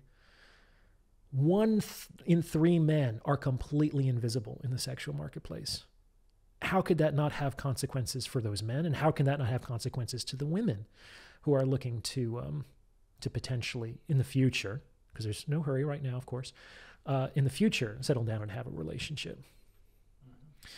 Um, and I think that's potentially one of the opportunities is that we should learn what are the various components to this hyper conflated institution of marriage and begin to kind of tease them apart and say, okay, rather than throwing the baby out with the bathwater or having absolutely no structure and chaos, is like we can keep some of these things and we don't need these things. And that can be a personal decision made by the actual individuals in that relationship. I think that might be the only real way to save marriage, in my opinion, because the the conservatives either the political conservatives or the religious traditionalists they want to go back to a time where you know people had values and that they had morals and it's like and that women you know commitment came before sex and it's like but that's not that posture that position flies in the face of certain economic realities in the contemporary sexual marketplace like the genie is not going back in the bottle we're never going to have commitment before sex unless some other things change that have nothing to do with values and morality. And simply saying that people should do this because it's good for them is not enough. Like moral arguments are ineffective in motivating individual change. That's not that's not how you you change people's behavior by making moral arguments. It sounds like the internet and social media and dating apps and all that has introduced far too many carrots. In a way, there's there's too many. What's the word? Incentives now that never existed before. So I think to to rely more on these moral arguments, you'd have to kind of, you know, put the internet back in the bottle. The internet back in the bottle, probably birth control back in the bottle. Um, that's never going to happen. That's that's never going to happen. Like those two technologies, which I talk about in my my book, are so deeply integrated into our social fabric and the day-to-day existence of our everyday lives and are also so clearly related to certain benefits that like the internet has made information so much more available, also misinformation and disinformation more available. But it's also made it so much more convenient to to to do your shopping. It's there's infinite entertainment, which is a pacifier uh, on a social level at your fingertips. You can work from your home. I mean, there's so many potential positives here. Birth control is irrevocably associated with all of women's social progress of the last 70 years. Like feminism has existed for a long time, but it wasn't really until they could functionally get out of the kitchen and the nursery by taking effective personal control over their reproduction that they could enter into the marketplace as an economic force in earnest. Like that couldn't happen if they were if they had 10 kids. Like it's just that's an impossibility. It would just have been an ideology that couldn't really be realized. Birth control allows feminism to be realized. Without birth control, feminism would just be a set of principles. Another thing to keep in mind is yeah, I was talking about this earlier is that dating apps and social media have created the illusion of infinite optionality. And this prevents people from making a decision because somewhere in that sea of infinite optionality is a better option than you. And especially if I don't feel this urgent necessity to commit to anything right now, why would I do my future self the disservice of foreclosing with you when I know for sure that a more attractive option exists in the sea of infinite optionality? So it delays making a decision and, and forming a commitment. Um, but it's a trap because optionality is like potential. It doesn't, it's like nothing. It doesn't really exist. When, when people fall for the trap of infinite optionality, they think they're giving up this big thing. They're giving up everything for one thing, which seems like this infinite loss. But in reality, it's an infinite gain because what they had was just optionality, was just potential, which is nothing. You can't eat the potential of a dinner, you know? Um, you you can't mate with an option, you know. So what commitment actually does is transform nothing into something from zero to one, which is an infinite gain. But it takes some maturity to be able to understand that. Another thing to consider is that dating apps uh, tend to are, are actually decreasing the rate at which people get into relationships which on the surface makes about as little sense as the fact that after the widespread proliferation of birth control, single motherhood went through the roof. Like, how is it that giving women control over their reproduction on that level led to more single mothers? Like, who would have predicted that? But that's exactly what has happened, right? Who would have predicted that by bringing the entire sexual marketplace into your living room, into your smartphone, that that would make fewer relationships happen. But we've actually seen that to be the case in the last 10 years. And I think I have an explanation for why that is. Do you mind if I share it? Um, to understand this explanation, you, we have to make two assumptions. The first assumption is that fundamentally in the sexual marketplace, Men attempt to trade resources, which can mean lots of things. It could be money, attention, energy, opportunity. They attempt to change, exchange resources for sex. And women attempt to use the sexual opportunity for resources, to, to accumulate resources, to acquire resources, okay? And we also have to assume that people will not pay more for the same good than they have to. Now, if you assume that both of those things are true, you can understand why dating apps are driving down the rate of relationships because basically, um, if I'm a man and I'm attempting to exchange resources for sex, I am going to, I know that somewhere in that infinite sea of optionality, there's someone willing to sell me sex more cheaply. They're going to be less difficult. They're maybe not even going to have to uh, expect a date or an extended courtship process. Maybe they'll just come over and we can hook up. And if you balk at that, that's okay. There's a bajillion other women out there, and I guarantee at least one of them will be able to, will be willing to sell at that price. It's sort of like what globalism did to American jobs on some level, right? And so, what does that do? Is it tends to polarize men in that direction. So, what do women complain about on dating apps? Is fuckboys. Is men just want to hook up.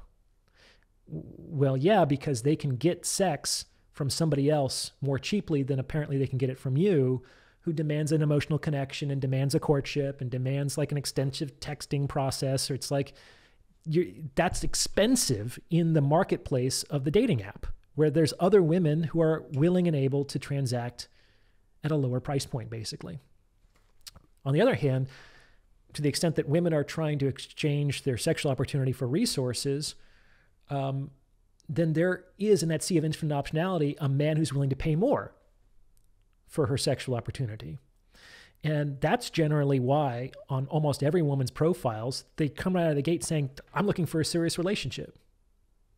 Like, I, I, I don't talk to me even unless you're willing to commit, get married, have children on this timeline. I've, I've read that on dating apps. And that's, you have to understand that that's the gendered equivalent to a guy saying, I just want to fuck.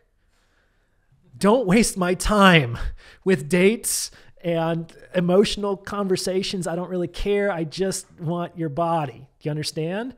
Like that wouldn't go over well for a woman.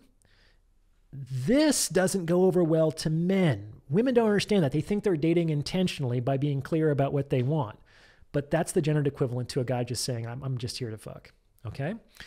And they're willing to do this because somewhere in the sea of all that infinite optionality, they can reasonably assume that there is a man who's willing to pay more for their given sexual opportunity.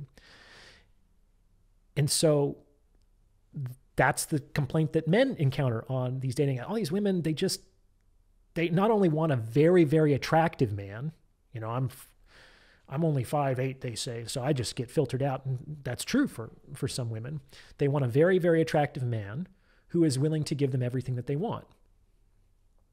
And that man must exist somewhere out there in the sea of infinite optionality.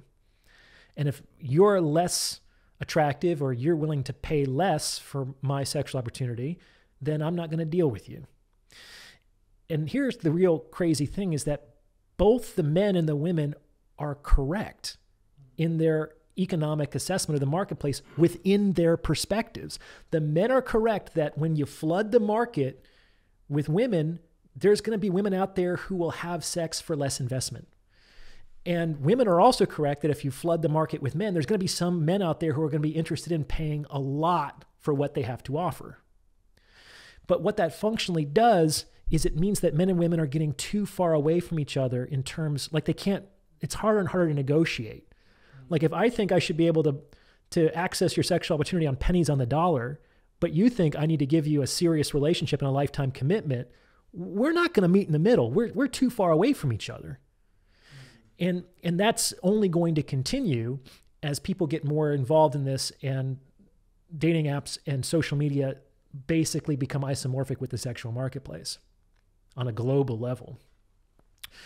It's like could a, an American uh, could an American factory worker compete with the Chinese factory worker? No.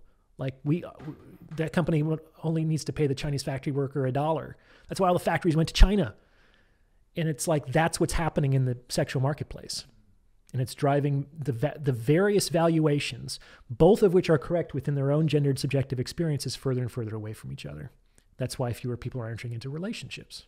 I see what you mean. So you're kind of like out of negotiating range yeah. to where you know, if you go into a negotiation expecting uh, maybe we'll end up at 20%, and then someone says 70%, you're like, I'm not, not going to talk to you. Yeah, it's more like I'm looking for marriage and children. And, and the guy's like, the best I can do is a drink. you know, you're, you're probably not going to find a common ground there. Yeah. So, how does that end? Well, what we've seen is that that means that fewer men and women are getting into even casual sexual relationships with each other. And on some level, casual sexual relationships are important because they often lead to more significant sexual relationships, more committed sexual relationships. In our society, for better or for worse, sex precedes commitment. So if you want the committed sexual relationship, you kind of have to be willing to enter into the casual sexual relationship. This didn't used to be the case. You know, they used to say, why buy the cow if you can get the milk for free? But that suggests that most milk wasn't being given away for free. If you live in a pasture where milk is freely available, then not giving away milk is a liability. Giving away milk no longer becomes a reason for buying the cow, but not giving the milk becomes a reason not to buy it. Does that make sense? So they're they're not entering into relationships, right? Now, some people that's okay. They'll they'll live their whole lives and they'll just be with their friends or their extended family and they'll they'll devote their lives to their career or maybe they'll just have short-term relationships and they'll that's going to be fine with them. But for a lot of people, especially as they get older, uh, they they see the next 40 years of their life and there is no partner, there is no family, they start to get anxious, especially women. These could be women that in their 20s devoted that time to pursuing short-term hedonistic pleasure and or their careers. And they say, I have plenty of time if I want to do that anyway. And they get to be their, their mid 30s and they start to change their mind or their priorities begin to shift. But for a long time, if the valuation is very different, you kind of have this Mexican standoff. Well, the guy's like, well, I'm not going to wife you up just to get laid. And, well, I'm not going to fuck you just, it's like, who's going to, who's going to blink first on some level? And if you play the cards out, women are going to blink first. Because for better or for worse, women are on a shorter biological time frame with respect to those options. Like you can be 60 as a man and have kids. I think Al Pacino just had a kid in his 80s. Maybe he's even 91 or something like that. The woman's really beautiful too. So, like, for better or for worse, we men have a a longer window in which to make these determinations about reproduction and mm. family. Women don't. Which which means that if someone's gonna blink, if someone's gonna in this game of chicken, it's going to eventually be women. So if you if that's true, women should blink as soon as possible on some level because a, a lot of guys are comfortable with the short-term relationship strategy and they have more time to figure it out especially if they devote their 30s and 40s, potentially even their 50s, to their career, their status, their wealth, their health. Like they're going to remain a, a very attractive, even a more attractive option for women as they age. The same is not generally true for women. The the old fashioned idea, the kind of perhaps sexist ideas of like women should learn how to do this or that so they can be appealing to men and, and get married by the time they're, uh, you know, I don't know, tw- 27. I, I, think it used to be like, it, it's getting older and older, right? It used to be like, what, to, like 18 or something. Yeah, there's this really classic Japanese movie called Late Spring. It's by the Japanese filmmaker Ozu. I forget his first name, um, but he's a master of Japanese cinema this movie is on like many critics' top 100 films ever made in the history of the world. And it's kind of difficult to watch in the present age. I mean, it's a beautiful film that's very well acted, but it stars this young woman who I think is like 26 in the movie. And the whole movie is about, oh, this old maid. You know, no man is ever going to want this woman you're going to spend the rest of your life alone. You're already unattractive, sweetheart. She's a beautiful Japanese starlet. You know what I'm saying? Um, but that was the culture back then. 26 was ancient in the sexual marketplace game. And my friend Sean Smith talks about how feminism has kind of lied to a lot of women in the sense that it's it's lied to them when it tells them that they can have everything and he says that it's not really true that you can have everything. One, because everything comes with trade off. You know, if you choose this path, this path is now closed to you. I think he says that women might be able to have everything, but not at the same time or something like that.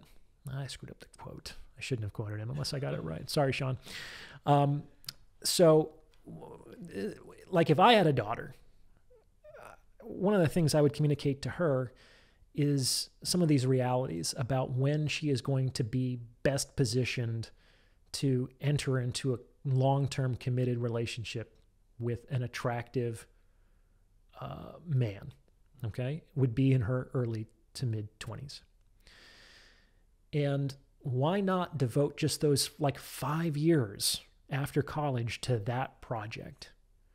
If that doesn't work, you you clearly can still potentially get into a relationship at 26 and beyond, but why not prioritize that? A lot of women, when they devote so much of their time to their careers, especially in their 20s, they're consciously thinking that they're doing it as a hedge. They're thinking, well, I might not be able to meet a man that I really like or who will wife me up. And so I have to hedge my bet, Orion. I don't want to just be dependent on a man for his finances or to just wait around for a guy to wife me up. It's like fair enough. And especially if you're living independently, you have to find a way to make a living. But if you devote 40 to 60 hours a week, every week, for every month, for every year of your 20s to a certain enterprise, that's not a hedge. That is your principal bet.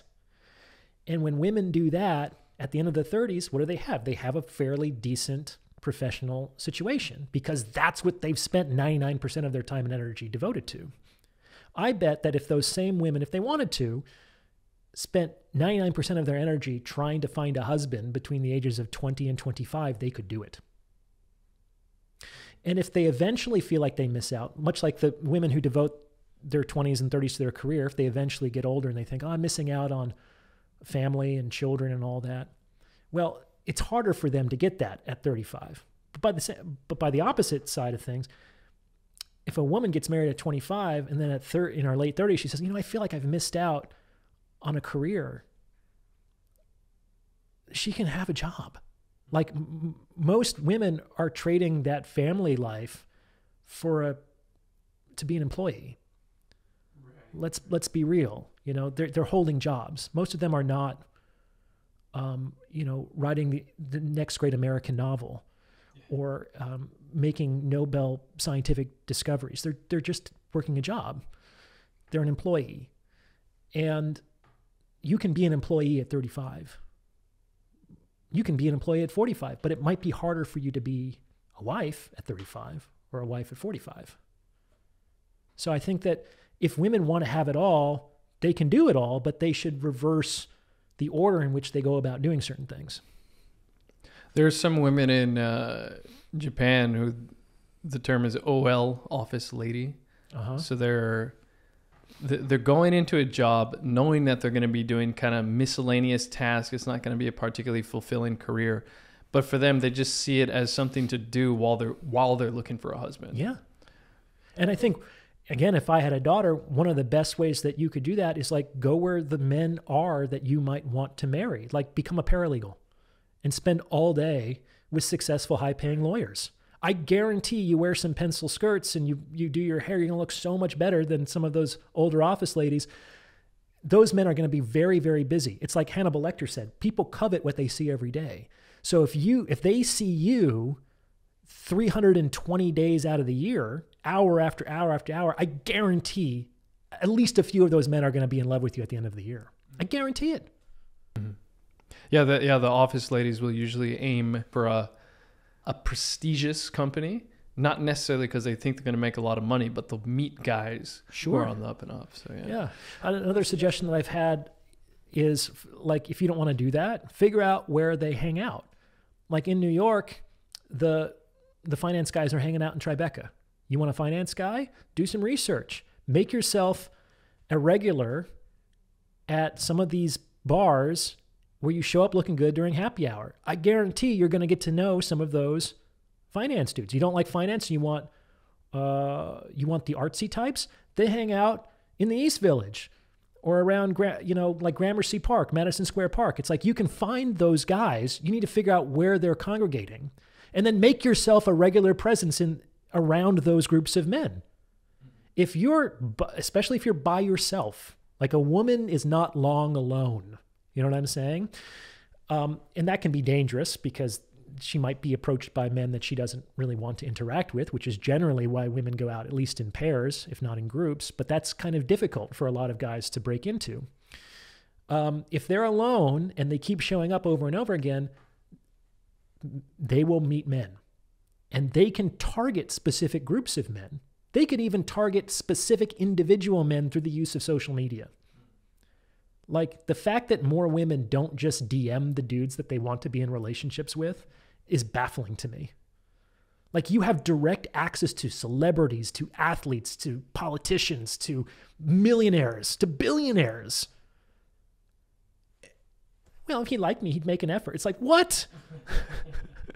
you don't have to do anything? really? Like DM and and like bait your hook. And and, and I mean that you should bait your hook with with sex, basically. Is that kind of what you're talking about with the you mentioned the men the enemy of women is pride. So this kind of like, of oh, if he liked me, I Oh, yeah. Well, you know, for all of the social advances that women have made in the last 70 years, they still are waiting for the offer. They're still waiting for me to walk across the room and say, "Hey, I'm Orion. How are you doing?" They're still waiting for me to propose the date and ask them out. They're still waiting for me to get down on one knee and, and put a ring on their finger. Yeah, and historically, women actually were more in control of the initiation of an interaction than I think they currently are. I mean, the stereotype in Victorian England as they'd be walking through the park and they'd drop their handkerchief strategically in front of the man. And the man, oh, miss, excuse me.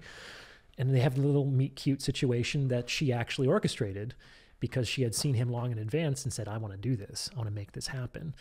So if women want something, they kind of have to make it happen or at least they can't exclusively expect the man to make it happen. And it's never been easier in the history of the world for women to make it happen. You just slide into somebody's DMs. Do you think any men would be kind of turned off by that or a little suspicious? I think if they're too overt with the sexual offer, yes. Okay. Absolutely. Like one of my favorite studies is was done um, several decades ago, and it was examining men and women's differential responses to overt invitations to sex. Have you heard this one? I talked about it in one of my interviews recently. I think so, but, but go on. Basically, the researchers got an attractive young man and an attractive young woman to memorize the same script and go up to co-eds on a college campus of the opposite sex. And the script was basically something like, hey, I've seen you around campus. You seem like you're very attractive. Would you like to come to bed with me? That was basically what they said, three lines. And when the attractive man went up to hundreds of young women with this script, 0% of them said yes and accepted the offer.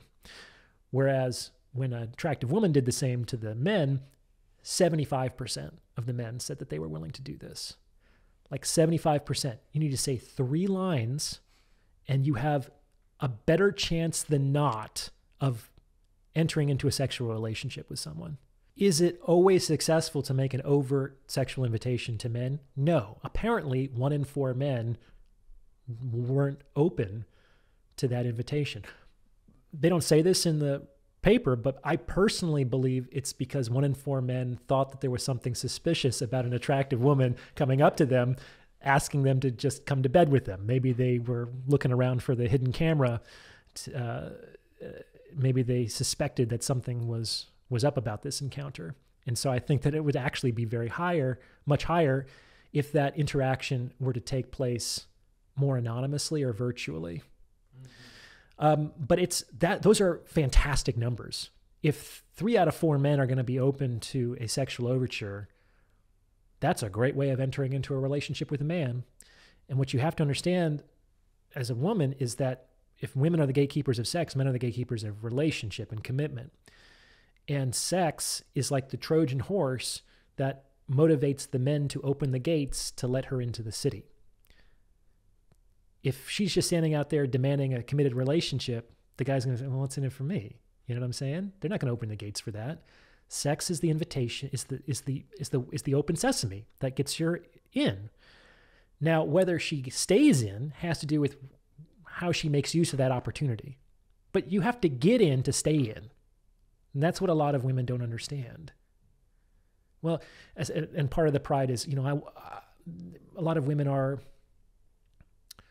contemptuous or even disgusted by male attraction and sexuality. They, I don't want to be desired for my body. And I can mm-hmm. understand that for some, you know, to some extent, because, you know, they might work out and diet and, and whatnot, but like their body wasn't really their choice. You know, it doesn't really reflect their conscious personality and who they and who they are like within that body you know what i'm saying they want to be seen they want to be appreciated for their intelligence and their creativity and their their sp- their spark and their humor and their joy and and men can and do appreciate women for those things later later but most guys are too horny they're too starved that they can't think about those things yet it's like asking a guy who hasn't eaten in a week to think about something other than food. He's not going to be able to do that. But if you feed him, he will be open to all kinds of conversations. Do you understand? Honestly, I'm probably a much better date if the date starts with sex and then we go out and do something. Really? I'm probably no kidding. Well, not a first date. Okay. Not a first date. Um, I like that. I like that. There's some buildup. For me, sex becomes more necessary and certainly more pleasurable and exciting when there's some sexual tension that gets developed 1st mm-hmm. and generally the date is an opportunity to develop that tension yeah it, i mean if it's um if it's someone i've a girlfriend or someone i've been dating for a while it's like okay let's oh sure let's have sex and then we'll go out and do whatever you want and i'll i'll be and maybe wait. have sex when we come back who knows but like yeah i can see that sure yeah. you know first things first um, the tricky thing is getting everything started, right? Because for many women, sex is the fruit of the tree. You have to plant the seed, you have to water it, you have to be patient, you have to prune it, you have to nurture it, then it blossoms, and then it ripens, and then there's this fruit. It's like, I love, I really like you, and I want you to have this kind of a thing. Whereas for men, sex is like the seed. A lot of men, we, we don't even really know if you like us ladies until you sleep with us. Yeah. Like that's the real um, that's the real test of whether a woman likes you.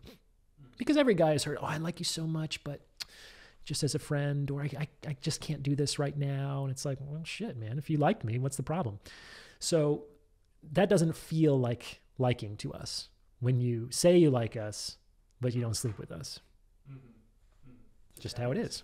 Yeah, for a guy, it's like you don't even have to like the person. Like if you like them, it's a bonus. um, sure. Uh, yeah, yeah. And there's a number of reasons why that's the case. I talk about some of them in my book. I'm sure David Buss talks about them in some of his work as well. Um, men and women differentially prioritize things in a reproductive opportunity. Yeah, the, the brains are just dramatically different, right? Well, yeah, I mean, there's, I think there's a, I don't know how you could argue that the fact that a man produces trillions of sperm every few days, but a woman produces one viable egg a month wouldn't have some sort of impact on their sexual choices.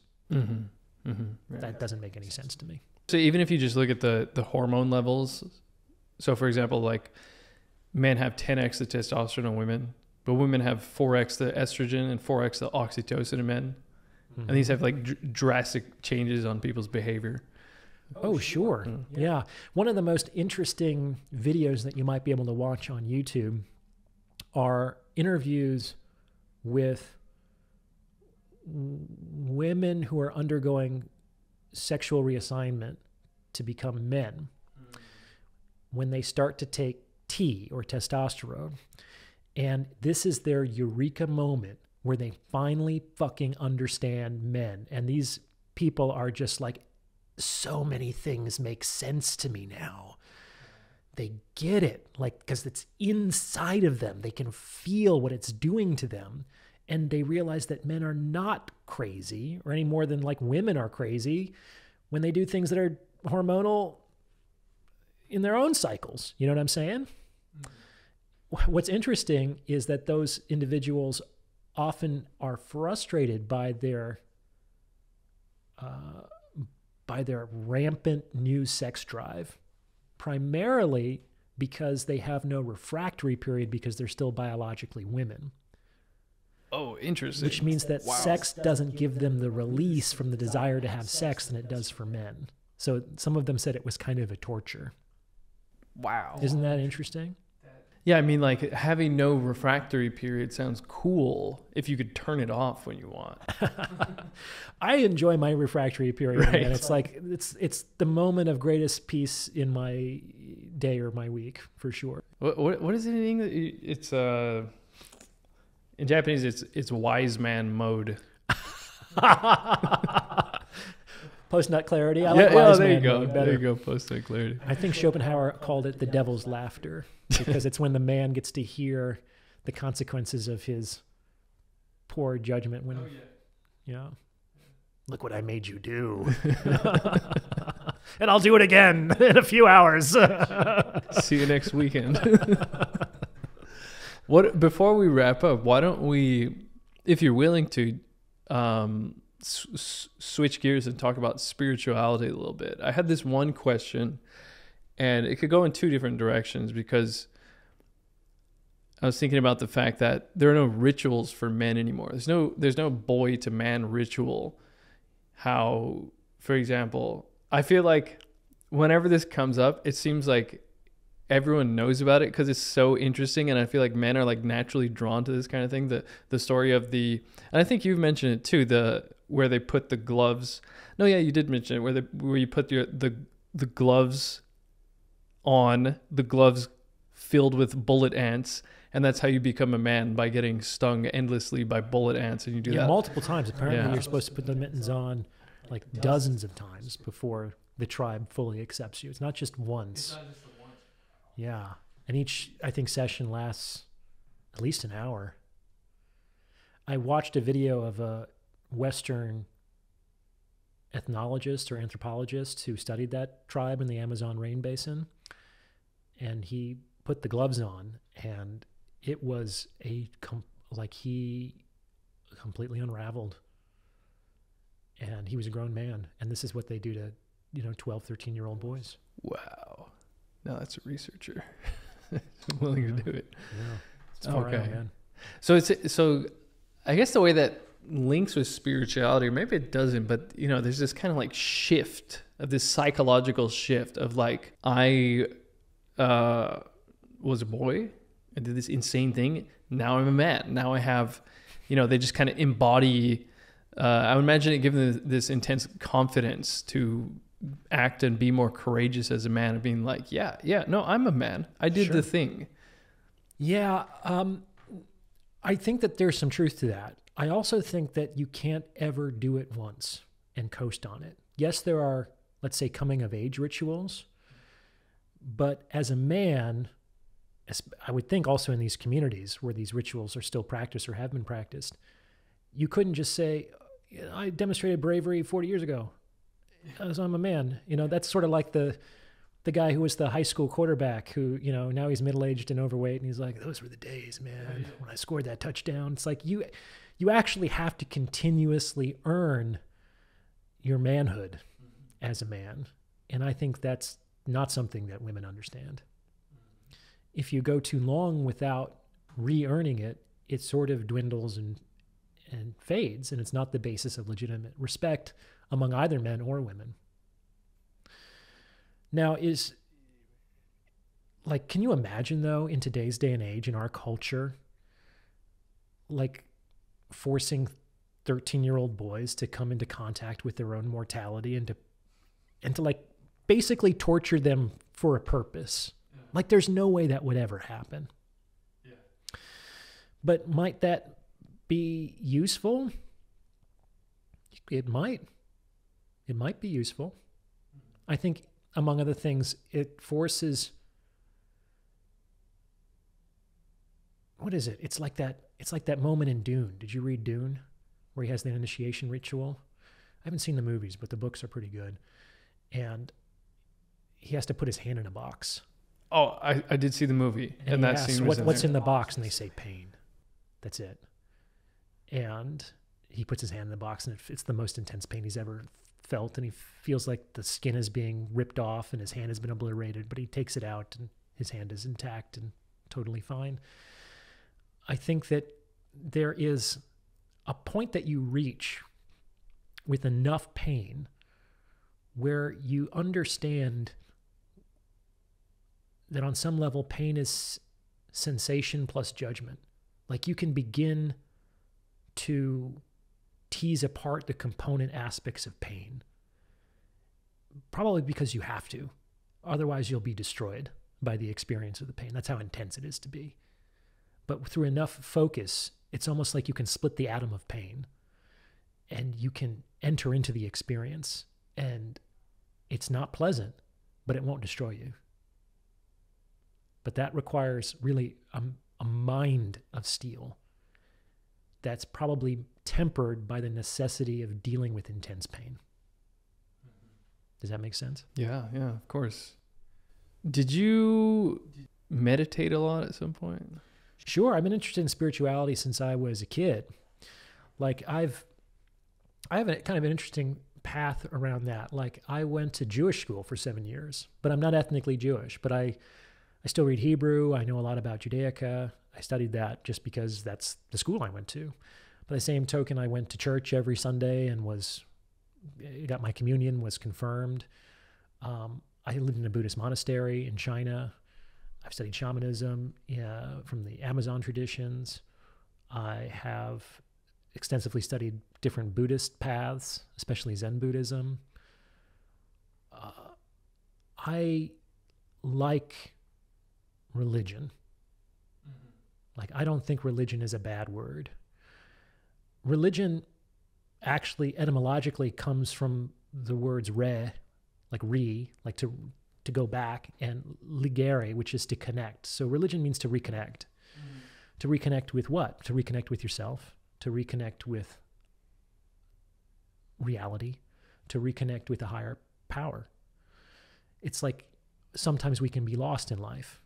How does the divine comedy start? Dante's basically saying, I came to the midway of my life. He's in his 40s and I was lost in a forest. It's like, yeah, that's what happens to people is mostly through no conscious intention, but just through the busyness of their lives and just a mundane sequence of events, they get lost in the forest of life.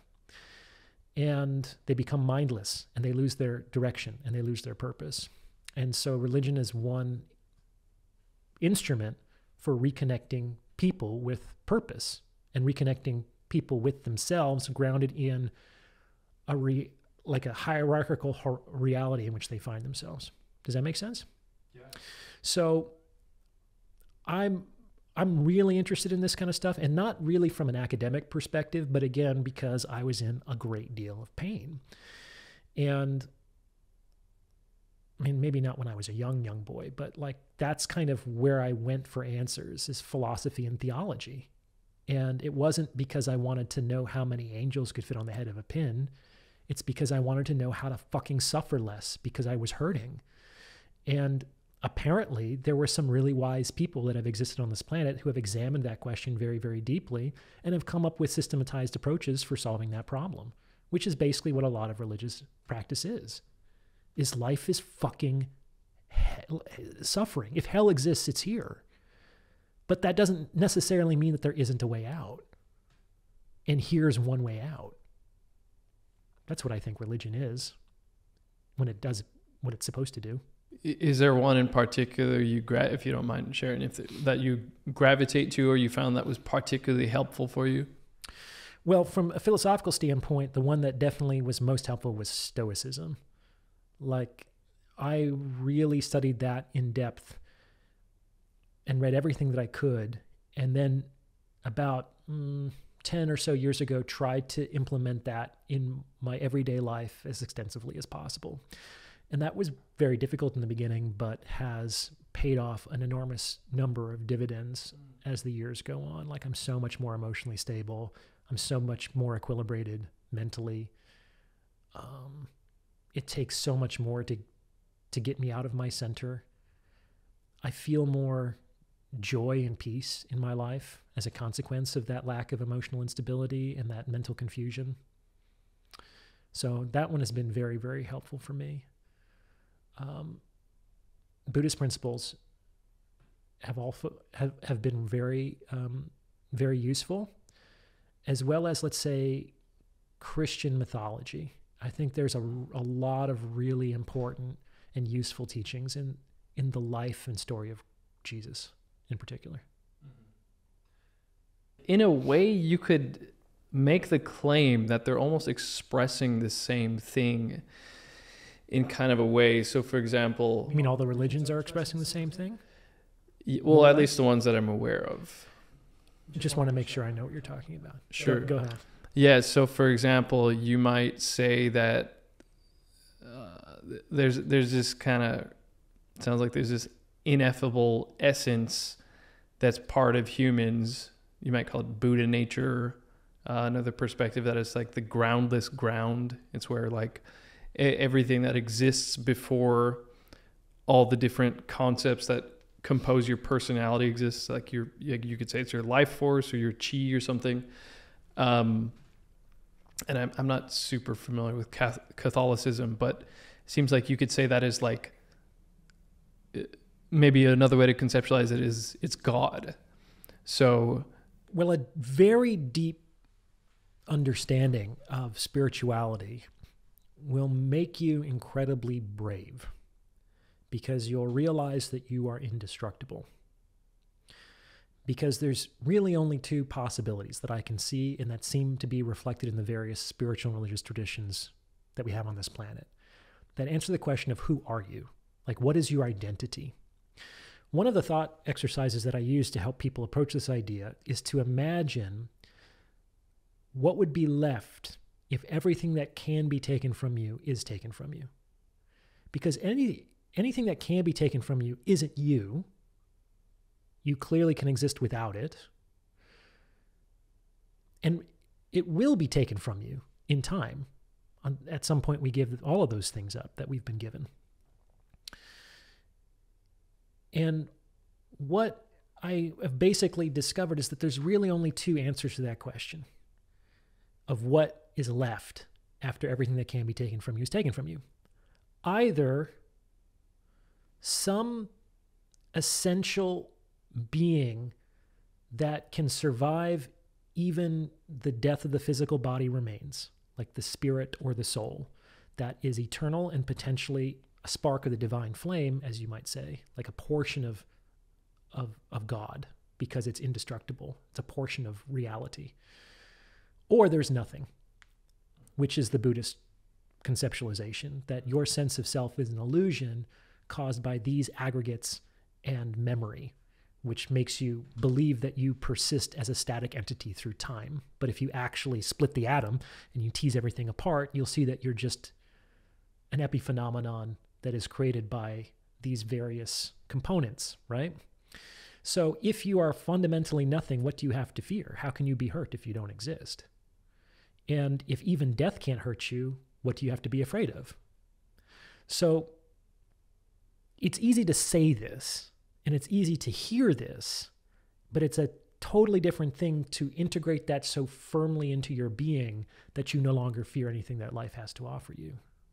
But that's actually the premise and the promise of, of religious discipline is that is like existential courage.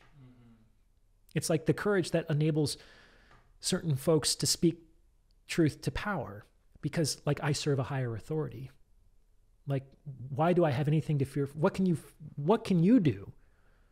That other person could actually like completely obliterate me, but you could just kill me. And we even see strains of that in philosophical thought. It's like when Socrates said that the people who persecuted him could kill him, but they couldn't harm him. Like, that's a really interesting idea. It's like you would think that being killed would be a form of harm, but according to Socrates, apparently not. That harm had to do with the conscious choice to be unethical or to be unvirtuous. And if that's what harm means to the individual, then who could possibly harm him but himself? But on some level, of course, anybody could kill my body if they're bigger and stronger than me, you know? Like the Stoics said, you know, if, if my neck could do any good for you, you can have it. Like, who's to say that my neck is the only one that can't be severed? Clearly, you can you can cut my head off. If that somehow does you a service, okay. But to say that bravely in the face of an actual powerful threat that can make good on that danger is something that is impressive indeed. It's very easy to, well, I'd be brave. I'd, I'd tell the truth to that dictator or that emperor. It's like, well, I don't, I'm not so sure. That'd be really tough. I mean, they talk about that when Socrates was arrested and um, convicted, and he was awaiting his uh, poisoning. Basically, he was in jail, and his friends basically come to visit him in jail. Did you have you read this one? So he's already been condemned to be put to death for corrupting the youth of Athens, and his friends come to visit him, and they basically say, uh, "Socrates, we're gonna bust you out of here." like don't worry about us. Like you're you're too important. Your life is valuable. We got to get you out of here. And, and he was like no it's it's fine. I'll just i'll just stay here. Um, he had his various reasons for that but i don't know how many people would not leave with their friends in the face of a death sentence like that is a superior human being or a very foolish one Yeah, it's it's like the samurai. Like they, that was one of the reasons, or the reason they meditated was so that they could no longer fear death. Yeah, I don't. I, I maybe it is possible through meditation alone to resolve the fear of death. Like certainly, if you look into the Buddhist mythology, it is like when he sat down in, on the Bodhi tree and he was went through all the Mara and the temptations and the the terrors of Maya. If you believe that, you can get through all that simply with your eyes closed in lotus position. But I I think that we're often subject to the temptation that we're braver than we think because we haven't been tested by reality. It reminds me of what David Goggins said about planning your next like marathon or whatever. He said, okay, if you're if you want to do an ultra marathon, make that decision in the middle of a marathon. Not when you're sitting on the couch thinking, how cool would it be to say that I run an ultra marathon? that will definitely get me laid. You ran how many ma- ultra marathons? Well, yes, you can come home with me. Generally, not how it works. nice. Shall we end on that? Is there anything else you want to add? No, this has been great, man. I'm glad you came up to me in that cafe. Yeah, yeah, me Those too. months ago. It's been good getting to know you socially, and uh, this was a lot of fun. So thanks for having me on. You too. Th- Ryan, thanks so much.